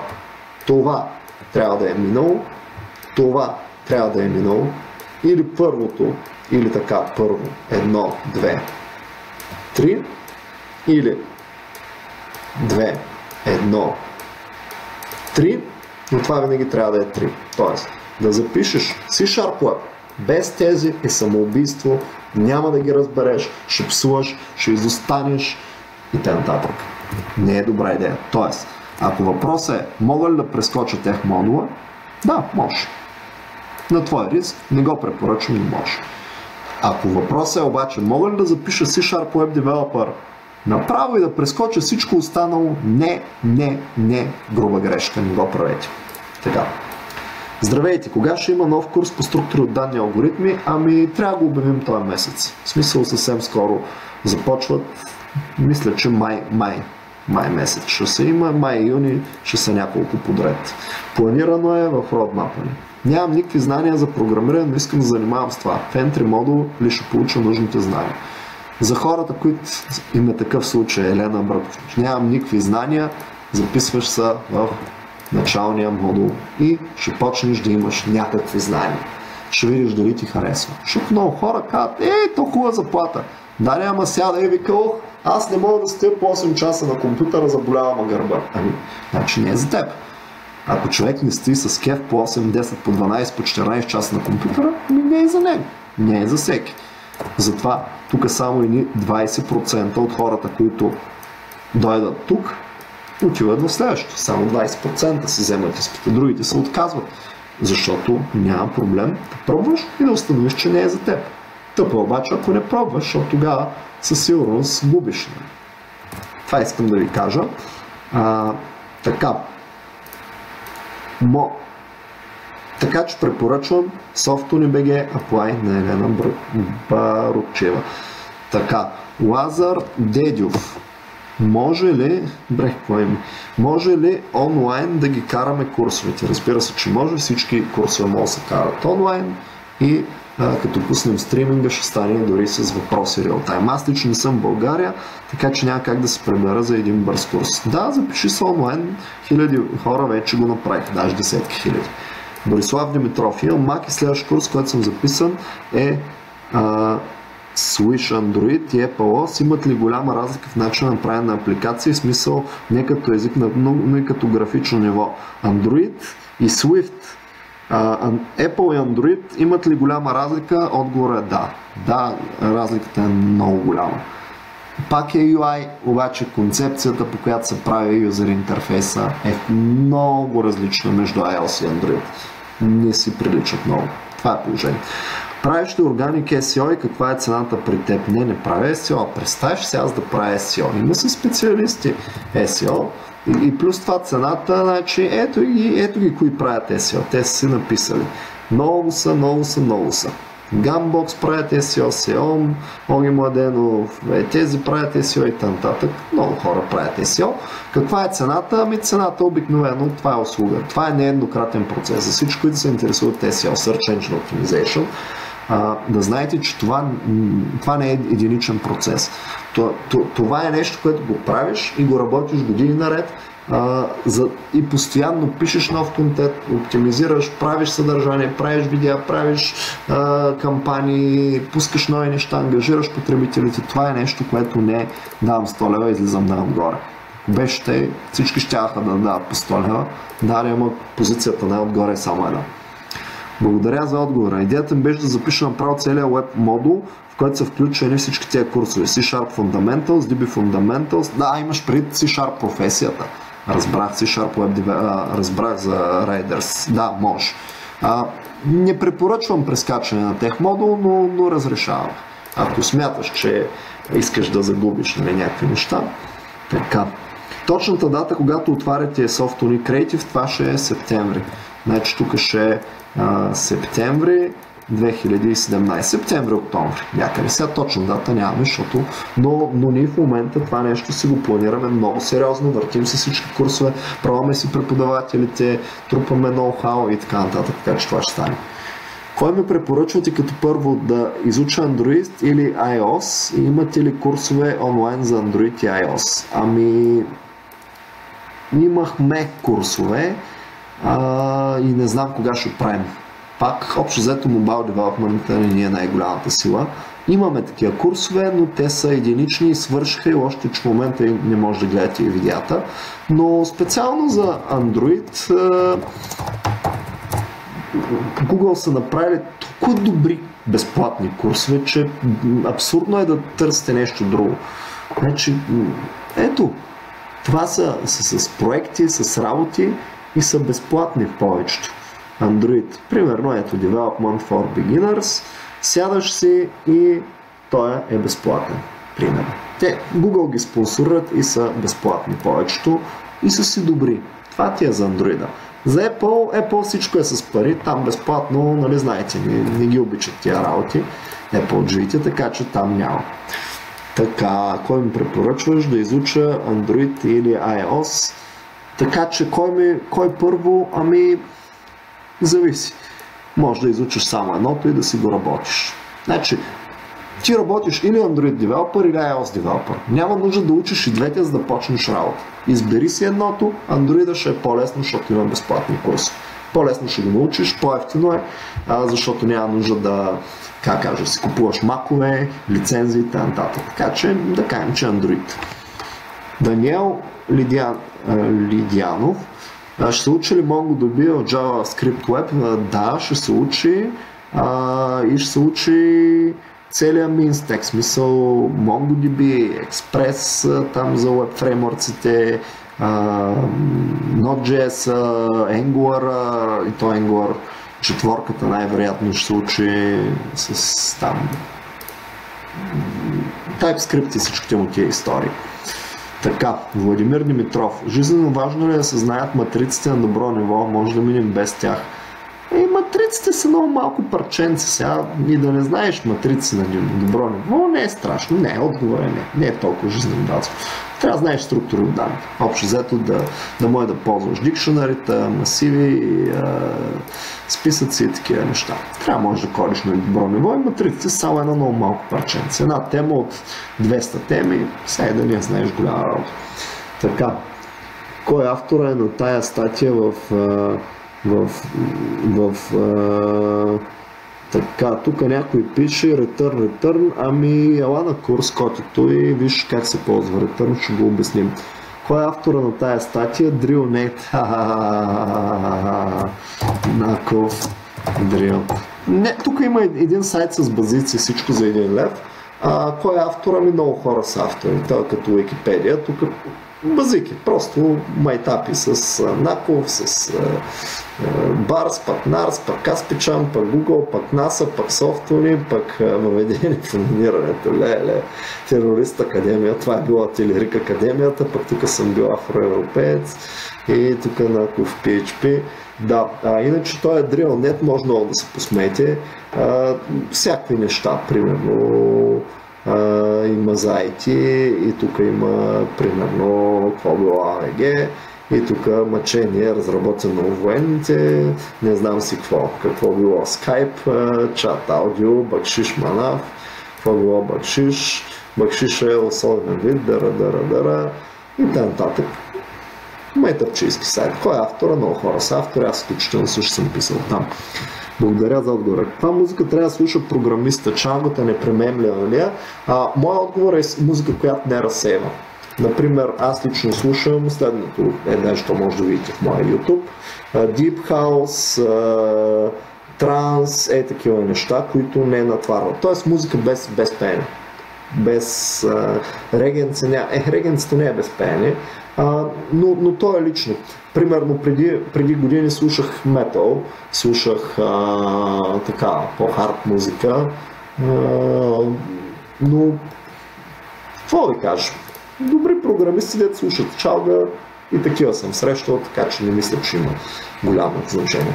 В JS Web са учили CoffeeScript. Не е CoffeeScript, TypeScript го изяли, така че а, CoffeeScript, какво да кажа? Няма нужда. Няма нужда. А, по-скоро TypeScript ще се учи. TypeScript, което... Ами Google, Microsoft и Angular казаха TypeScript е бъдещето. CoffeeScript е негова альтернатива. Друг вариант за нещо, което прави подобно, така че няма нужда. Това е мнението за Machine Learning с C-Sharp. Цял изкуствен интелект, разработен с C-Sharp, конкурентно способен ли е. Истината е, че почти няма значение. Това са концепции, но езика за machine, machine learning е Python. Просто е той. Най-много неща свързани с machine learning има на Python. Така че научете го. Тоест 90% от туловете са питонджийски.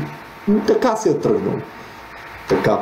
Жизненно важно ли е матриците? Не знам. Голям пичага си, дъра, дъра. Мразиш свободния па... софтуер. Оле, каква глупост е написал Джейн Джейсън. Голям печага си пич. Уважавам ти безкрайно много, въпреки че е вероятно да мразиш свободния софтуер, да паш по ботнет технологии. Хора, .NET технологиите са свободен софтуер. Те са прекрасен пример. Аз много харесвам .NET а, свободния софтуер. Всичките ми сайтове са на open source WordPress. Всичките ми неща, сървъри са върху Linux. Как, как може да не харесваш свободния софтуер? Аз съм бил лично човек, който е спонсорирал OpenFest и съм дал пари за такива инициативи. А, така че това е някаква недоразумение. Имам приятелка, която иска кандидатства в тази сфера, но притеснява факта, че това е мъжка професия. Ами не е мъжка професия. А, може да спорим цял ден, но не е мъжка професия. Просто нека да пробва, ако се отдава, ако харесва, но нека да стане програмист. В нашия дев екип бяха 70% момичета програмисти в софтуни, така че ето един пример, че май не е така.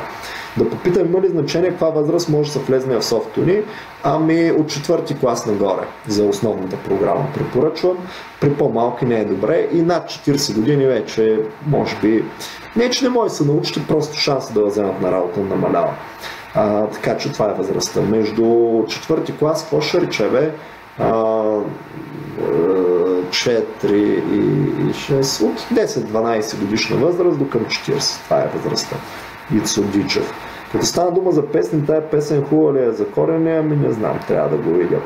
А, каква е темата за следващата седмица? Ами след две седмици, вероятно, две-три седмици ще бъде. Темата ще е Java програмиране и технологиите за Java, става Java програмист.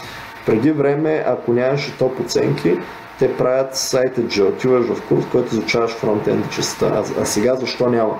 Ами няма толкова търсен. Истината е, че толкова много не се търсят Йордан Тодоров сайта G, така че затова не, не наблягваме, но може би е наш пропуск. Аз планирам да разширим малко сайта джийските курсове. Ангел Ангелов, искам да ви попитам относно добрата практиката Base Repository, всички entity или репозитори за ох, това е много дълга тема за репозиторите. Нали? А, въобще аз, аз не харесвам тази концепция с правене на репозиторите и осложняване на нещата, защото а, всъщност Entity Framework по природа а, е нещо като той имплементира там Unit of Work и абе то, то е нещо като репозитори. Аз лично тези неща не ги харесвам. А, така че какво да ви кажа? По принцип, от гледна точка на код reuse, нали, Base Repository е хубава идея, защото веднъж го пише горе язуш навсякъде. Но правене на два класа излишни за всяко едно entity, за мен е това излишно. И казват, о, ма така ще можеш, като ги направиш по-абстрактно да смениш а, нали, отдолу, да смениш а, дейтабейса. Колко пъти в реален проект сте миграли от, е, от една база на друга? Отговорът е нула. Това никога няма се случи. И това е просто излишно. Какво представляват задачите, за които говориш? Ами, отворете ги и ги вижте.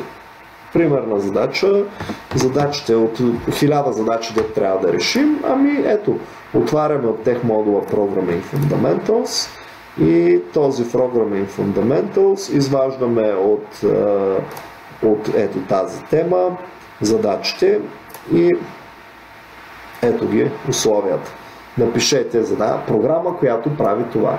Напишете програма, която прави ето това. Взимайте тези числа, сгъва ги и ги сумира. Напишете програма, която прави това. Е, това представлява задача. Така, някой друг има а, защо в Java предимно Swing вместо JavaFX. Истината е, че Java за UI не става. Java се ползва с Web, базирани HTML и CSS. JavaFX по принцип е уж наследника на Swing, ама какво да ви кажа? Аз не съм виждал много много да се ползва JavaFX. така че с Java ползвайте Web. Web и не става за UI. Това не е като на C-Sharp, Замова е много по-напред Universal Windows платформата. Или ползвайте просто JavaScript и някакъв а, такъв а, пакет, пакетатор, нали, JavaScript за десктоп има а, много хубави технологии, само че как се казваш, електрона, например. Електрона, супер. На JavaScript за всички платформи, open source, cross платформ, може да го пробвате. Сега някой пита, а, извинявам се въпрос, че не по тема, може ли да се запише курсът Python Basics през май, ако не сме минали нито един курс? Да, Python Basics е за абсолютно начинаещи, за абсолютно, абсолютно, абсолютно начинаещи, които не са виждали клавиатура, деца вика, и компютър. Така че може. Мнение за сайтове като Code Academy, Treehouse, Coursera, ами ползвайте ги, хубави са. Ако ви се учат по този начин, ползвайте ги, добри са. Аз също съм ползвал такива сайтове. Но учащи софтуни са каква минимална оценка помагате за намиране на работа през кариерния център. Среден успех много добър от 4,50 нагоре. Това е. А, и причината е, че фирмите не искат слабите хора. Фирмите не искат хора, които нямат 4,50 или повече. Планирате ли курсове по Network Security? Ами да, частично да, по-скоро етично хакерство и такива security курсове ще имаме, но точно Network Security в по-голяма дълбочина е само мрежовата част, по-скоро не, по-скоро цялостна информационна сигурност. Ще имаме такива курсове. Какъв мислиш, че е делът на IT индустрията след 10 години свързан от Machine Learning и AI? Ами, много добър въпрос, Иван Калоянов. Machine Learning ще расте. Сигурен съм, Machine Learning Data Science, ние доста сериозно захванахме нещата в софтуни. Почнахме с Data Science, след това Machine Learning и Deep Learning. И това са ти три курса един след друг, в които нещата се наслагват, разширяват. А, така че аз лично смятам, че има много хляб в тези технологии и че ще расте пазара. А, има бъдеще роботите, ще има роботи, ще има роботизация и подобни неща. какъв ще е делът на IT индустрията след 10 години, трудно ми е да прогнозирам, но, ще расте. Тоест, а, и ние сигурно 10-20% от софтуерните инженери ще се занимават с това, а може и до, до 30 и до 50 да стигне. Зависи колко бързо се разви тая роботика, но със сигурност роботите ще сменят хората.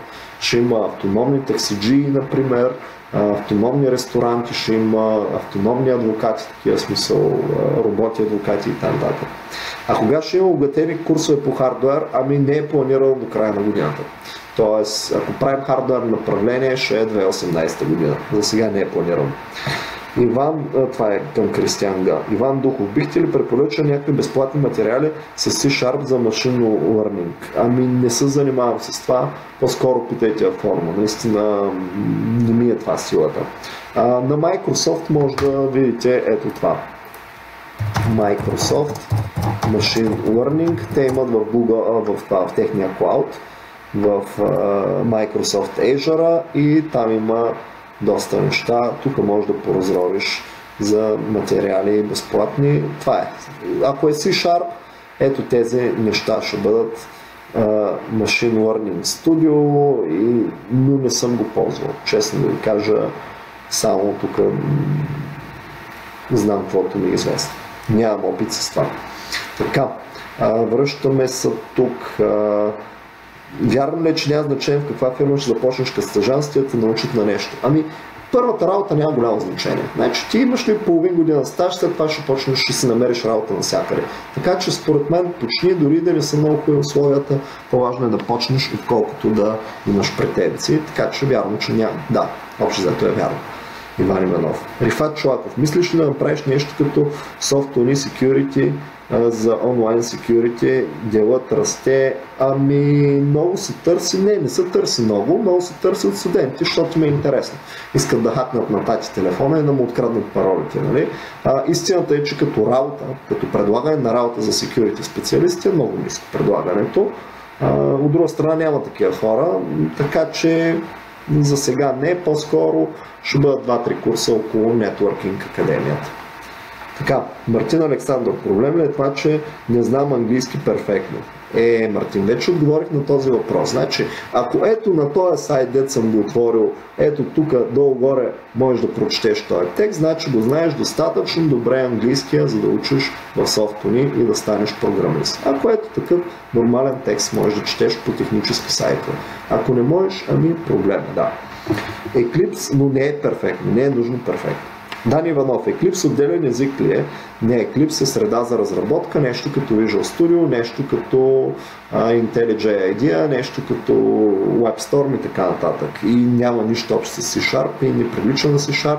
Значи C-Sharp и Java са езици за програмиране. Visual Studio Eclipse са среди за разработка. Тоест Eclipse е нещо е такова. Но това не е език за програмиране, това е програма за писане на програми. Eclipse също е програма за писане на програми. Е, така ще ви е, обясня. Владимир Димитров, какво имат предвид фирмите, като казват специално за веб, че PHP е безплатно, а за C-Sharp се плаща лиценз? Не, няма такова нещо, за C-Sharp не се плаща лиценз, излагали се. Единственото, което доскоро беше, че C-Sharp работеше върху Windows сервер, който не е безплатен. Но това беше доскоро, в момента работи и под Linux и навсякъде и е много добра альтернатива на, на PHP, но това е по по-отскоро. Нали? C-Sharp не беше напълно безплатен на екосистемата доскоро, в момента е. Петя Илия, здравейте, аз съм студентка по медицина трети курс, но имам изявен интерес към информатиката и мисля, че ми се отдава. Искам да питам най-главно така най-главно до каква степен програмирането може да се използва да намери приложение в медицината. А, така и ами като цяло хубаво е да бъдеш лекар, който програмира до каква степен. Ами няма много засечни точки. Аз познавам един програмист лекар, а, той ходеше по състезанията. Ми различни неща са. Не, не мога да кажа, че има, има много засечни точки. Според мен се избере едната от двете професии и си я работи, която повече такива Петя. Така, Ангел Ангелов. Искам да ви питам защо IT фирмите не искат да вземат джуниор девелопери или просто стажанти. Не искат, просто ти е много ниско нивото. Това е положението. Значи стажант в софтуерната индустрия означава стажант става като минеш това, като минеш това, като минеш това, като минеш това, минеш това и минеш това и ставаш стъжант. Това е. Това е стъжант. Значи ако търсиш някой да вземе като стъжант да ти обясни какво е форцикъл, си сбъркал. Защо? Ами, защото има други, дето знаят какво е форцикъл, има други, дето знаят какво е база данни. А, значи или минаваш тези курсове, или научаваш еквивалентно знание от, по друг канал. Примерно от Udacity или а, с проба грешка. Така че Ангел Ангелов стъжан, фирмите взимат стъжанти редовно. Просто отговора е нямаме интерес към вас. Не разбираме. Търсят синьор с 500 години опит. Не, търсят хора от софтуни. Просто само, че хора, които нямат оценка тройка, имат 5,80 оценка. Не е вярно, че не са търсят стъжанти, просто изискванията са високи. Изискванията за стъжант са а, да, си, да имаш поне едни 2-3 хиляди часа опит като програмист. Това е стъжант. Значи, стъжант в баничарница може да отидеш от днеска и утре почваш. Но стъжант в софтуерна фирма означава 3000, между 2 и 3000 часа да си писал код, за да можеш да станеш стъжант. Това е положението. Просто нашата професия е трудна, изисква много, много, много, много, много учене, много бачкане. Не е за мързеливи хора. Не можеш да отидеш като баничарница да кажеш стъжант. Седно да отидеш и да, да искаш да работиш като стъжант таксиджи, обаче да нямаш шофьорска книжка. Ми не може. Няма да те вземат за стъжант. Трябва да можеш да караш кола и да, и да просто трябва да можеш да караш кола. Ама за да караш кола, трябва да си карал няколко стотин часа кола. Не може да стане по-лесно. Същото е в програмирането, само че говорим за няколко хиляди. Това е положението. Естествено, че нямате интерес към вас. Няма кой да, да те вземе а, за стъжан при положение, че, че не можеш да програмираш на добро ниво. Кажи нещо повече за Arduino. Ами Arduino е а, система за правене на, такива, на, на embedded приложения. С нея се правят много хубави неща. Тук някой а, колегата Кристиан Г.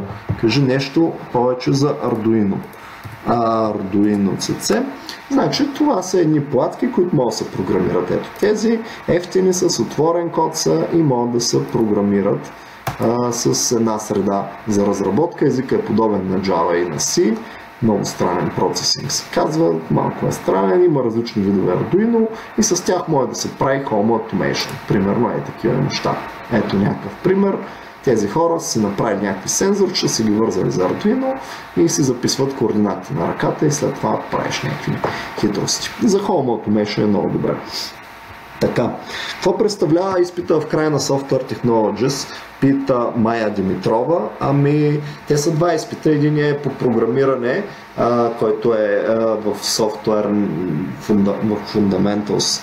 А, чакайте момент, само да го поотворя, че тук малко се обърквам. Значи в тех модула, Software Technology, ако за този курс говорим, изпита е правите практически проект, например, взимате блога и го дописвате или правите фотоалбумче, по подобие на това, което са ви показвали в клас. Абе, доста е лесен. Много трудно човек а, нали, се захваща тук и да го скъсат. Трябва просто да не се ева. Струва ли се до... И причината да е лесен изпита в софтуерни технологии, че ние там не учим, там се запознаваме с технологиите. Там целта е да бутнеш, да си отцапаш малко пръсти, било то с PHP, било то с JavaScript. Така, Иван Иванов, струва ли се да уча C-Sharp, за да науча ОП и, и други по-надълбоко, но да си работя с PHP. А, Иван Иванов, значи колкото повече езици и технологии учиш, толкова по-добър програмист ставаш. Много мразя конете с капаци, които казват аз съм PHP програмист, не искам да бутвам C Sharp. Това означава аз съм некадърен програмист и не искам да ставам по-добър. Това означава, като го преведа. Значи, човек трябва да знае 4, 5, 6 езика за програмиране, задължително един обектно ориентиран на добро ниво и задължително един функционален или скриптов език какъвто е да кажем JavaScript или Python, за да може да е добър програмист. Няма друг начин. Ако си работиш с PHP, да, трябва да учиш OP. И OP има в PHP, учи се с PHP. Това е OP. Мирослав Чакрачеев. Кога ще стартира следващия модул на етичното хакерство, понеже изпуснах срока, ами отговорът е скоро, до лятото ще го пуснем. М- така, и втори въпрос. Наскоро ми криптираха харда, искам да знам а, към кои курсове мога да им помогна да защитавам подобни набези а, за криптирания хард диск има една а, група в А, и там имаше една много хубава статия, къде беше в киберсигурност и етично хакерство. Ето тук питай за криптирания хард диск. Еми неприятна история е. Наистина правете бекапи, камитвайте и така нататък. Ето, тук можеш да попиташ. Имаше наскоро тема точно за това, как, са, как да се спасиш, как да декриптираш. А, само, че не си спомням. Някъде беше написало. Просто ще изложа. Така.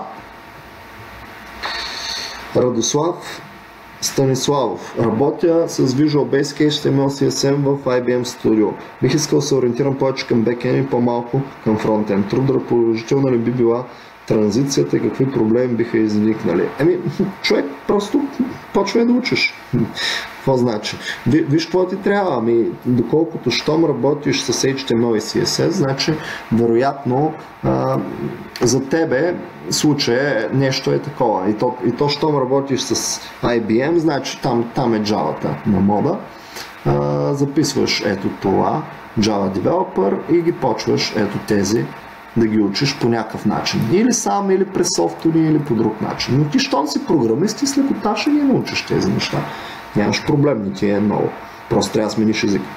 Така, Петя Илева, тъй като се записах на основа на програмирането курса този април, искам да попитам а, този сертификат, който се дава на курса, стига ли да кандидатствам за работа, някъде начална заплата? Абсолютно категорично не, не, не, не, не. Този сертификат е, че имаш 2% от знанията, които ти трябват за стъжанти. Толкова. Нямаш повече. А, за да станеш стъжант, ето това са ти курсовете, които те подготвят за да станеш стъжант. Той курс като брой, че той, е смешно малък. Той курс е, той е едно азбуката. Примерно, ако трябва да перефразирам въпросите, достатъчно ли ако науча азбуката и, и 100 думи на английски язик да работя като преводач? Отговорът е не, не, не, не, не, не, не, категорично не. Така. Мартин Александров. Програмиране в графична или не графична среда. Какъв ти е въпросът? Кое е по-добре, кое е по-хубаво? Добрите програмисти владеят и двете и пишат предимно на конзолата, даже пишат в текстов режим, ползват вимове и разни такива неща. Така, Джейн Джейсън, с каква технология е създадена тази страница? Гледах, че има Ajax колове и дъра, дъра, дъра. Не знам, може да пробваш с BuildWith. What times само, че това трябва по някакъв начин да го отворя. Това ще е трудно хора. Software University. Сега ще трябва да цъкнем. Това са някакви стари неща. От едно време дайте да видим. Ето това ли е? Трябва ми линк. Така. Но то това не излиза, бе. Сега трябва пусна това. Да, да спра някакси музиката, звука и да видя, добре, Радослав, това изчезна, бе. С каква технология е създадена Ами, съжалявам. Нещо... Това Фейсбук е много некадърно направили. Е, го изгуби се. Изгуби се, съжалявам. Джейн, не мога, не мога да... Какво да направя? Няма го това нещо. Нито тук го има, нито на другата страна. Тези коментари, повечето отговорих. Еми, добре. Следващия, Мирослав Христов. Искам да навляка дълбоко в компютърни мрежи. Записал съм си Sharp и Computer Networking Fundamentals. Как ще ме посъветваш да продължа? Ако искаш да влезеш дълбоко в компютърните мрежи, запиши Cisco Академия. Напиши Cisco Academy България и си намери просто място, където да си изкараш. А, ето ги тук. Cisco Netacat. Нет, не, това ли беше бе? Абе, има, има ги. Тук е, потърси Cisco ти препоръчвам, ако искаш да задълбаеш в мрежите, както и други курсове и такива неща. Те са сериозни, те са по 70 часа един курс по 4 модула, 280 часа е, например, CCNA, това първия модул, Оф, как беше, не, Switching, какво беше, забрал съм го. Така, Борислав Димитров, един добър програмист, колко езика за програмиране трябва да знаем и десетина е отговора и кои са, и кои са те. Ами общо заето задължително трябва да знаеш поне един скриптов и поне един компилируем език. Например, да кажем C-Sharp и JavaScript или Python и Java, нещо такова и след това SQL-ите и подобните. То не е въпроса в бройката, но колкото повече езици, технологии знаеш, толкова по-бързо учиш нови, толкова по-добър програмист ставаш. Нали? А, така, всичко, което е технология, но все пак трябва да е центрирам в някои от тях, както вече знам C++ и Java. Знаеш C++ и Java, това е много, как кажа, силно послание. Ако знаеш да пишеш до for цикъл на C++, хубаво. Ако знаеш как да правиш сложни темплейтни класове с STL и Boost на добро ниво, значи това е друга песен. Знаеш Java означава, знаеш ли Spring MVC и Java Enterprise и можеш ли да работиш с uh, Spring Boot, например? Ако отговорът е не, ми значи не знаеш Java. Съжалявам. Така че това е много силно изказване. Знаеш C++ като синтаксис, ако така ги мерим, а, ти, ти тогава можеш да знаеш с лекота да научиш за две седмици научиш 40 езика. Ако говорим за синтаксис, да можеш да си напишеш името и хорцика. Ако знаеш езика и технологията на Java, това поне една година здраво учене, за да стигнеш някакво базово начално ниво. Я да видим сега какво е писала колежката. Това са всички въпроси. Изгубения URL е 132. Значи, ония URL колежката ми го е пратила. А, ето това. Питат ма това нещо, кой го е а, на какъв език е направено ето това. Нали това питат? Къде да знам на какъв език е направено това? Може да пробвате с Build With. Ето това. Това е най-големия сайт за такива неща и просто да го пробвате, то ще си каже.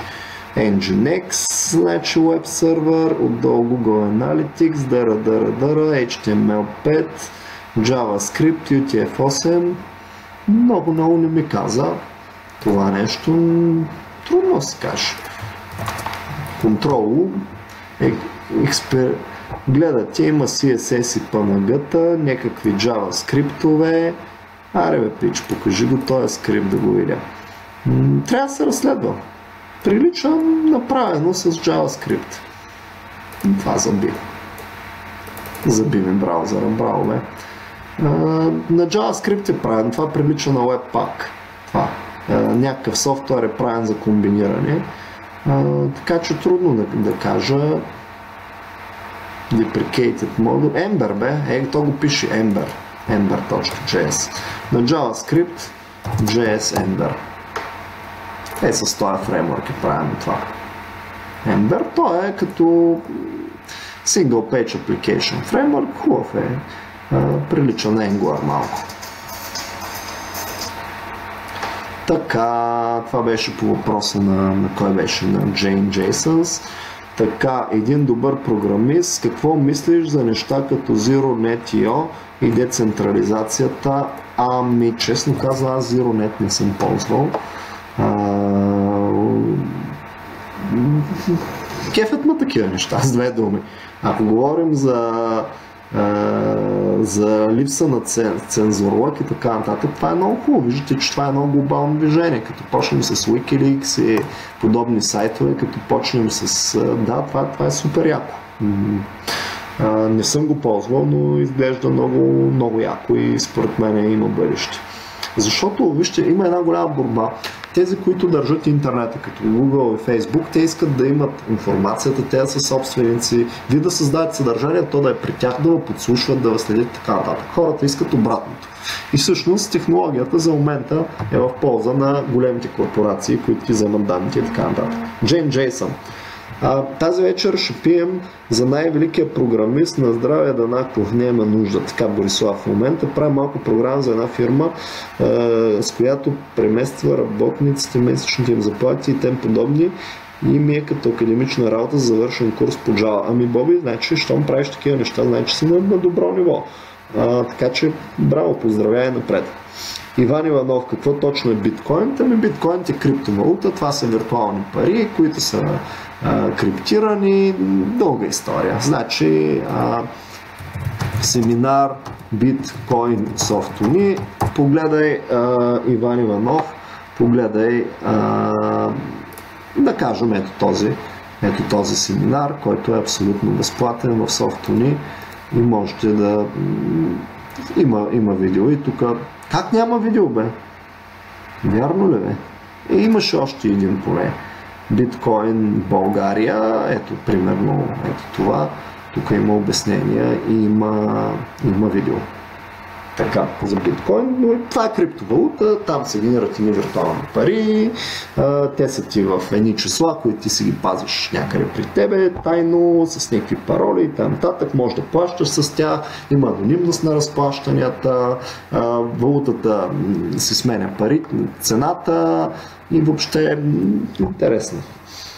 Сети са няколко въпроса. Един курс да се запише най-подходящо записане на Windows приложение, две първо, какъв курс да се запишем? Записане на Windows приложения. В софтуни няма такъв курс, иначе Universal Windows Platform а, примерно туториал може да вземеш. Научи се на C-Sharp и на програмиране и ето това е някакъв...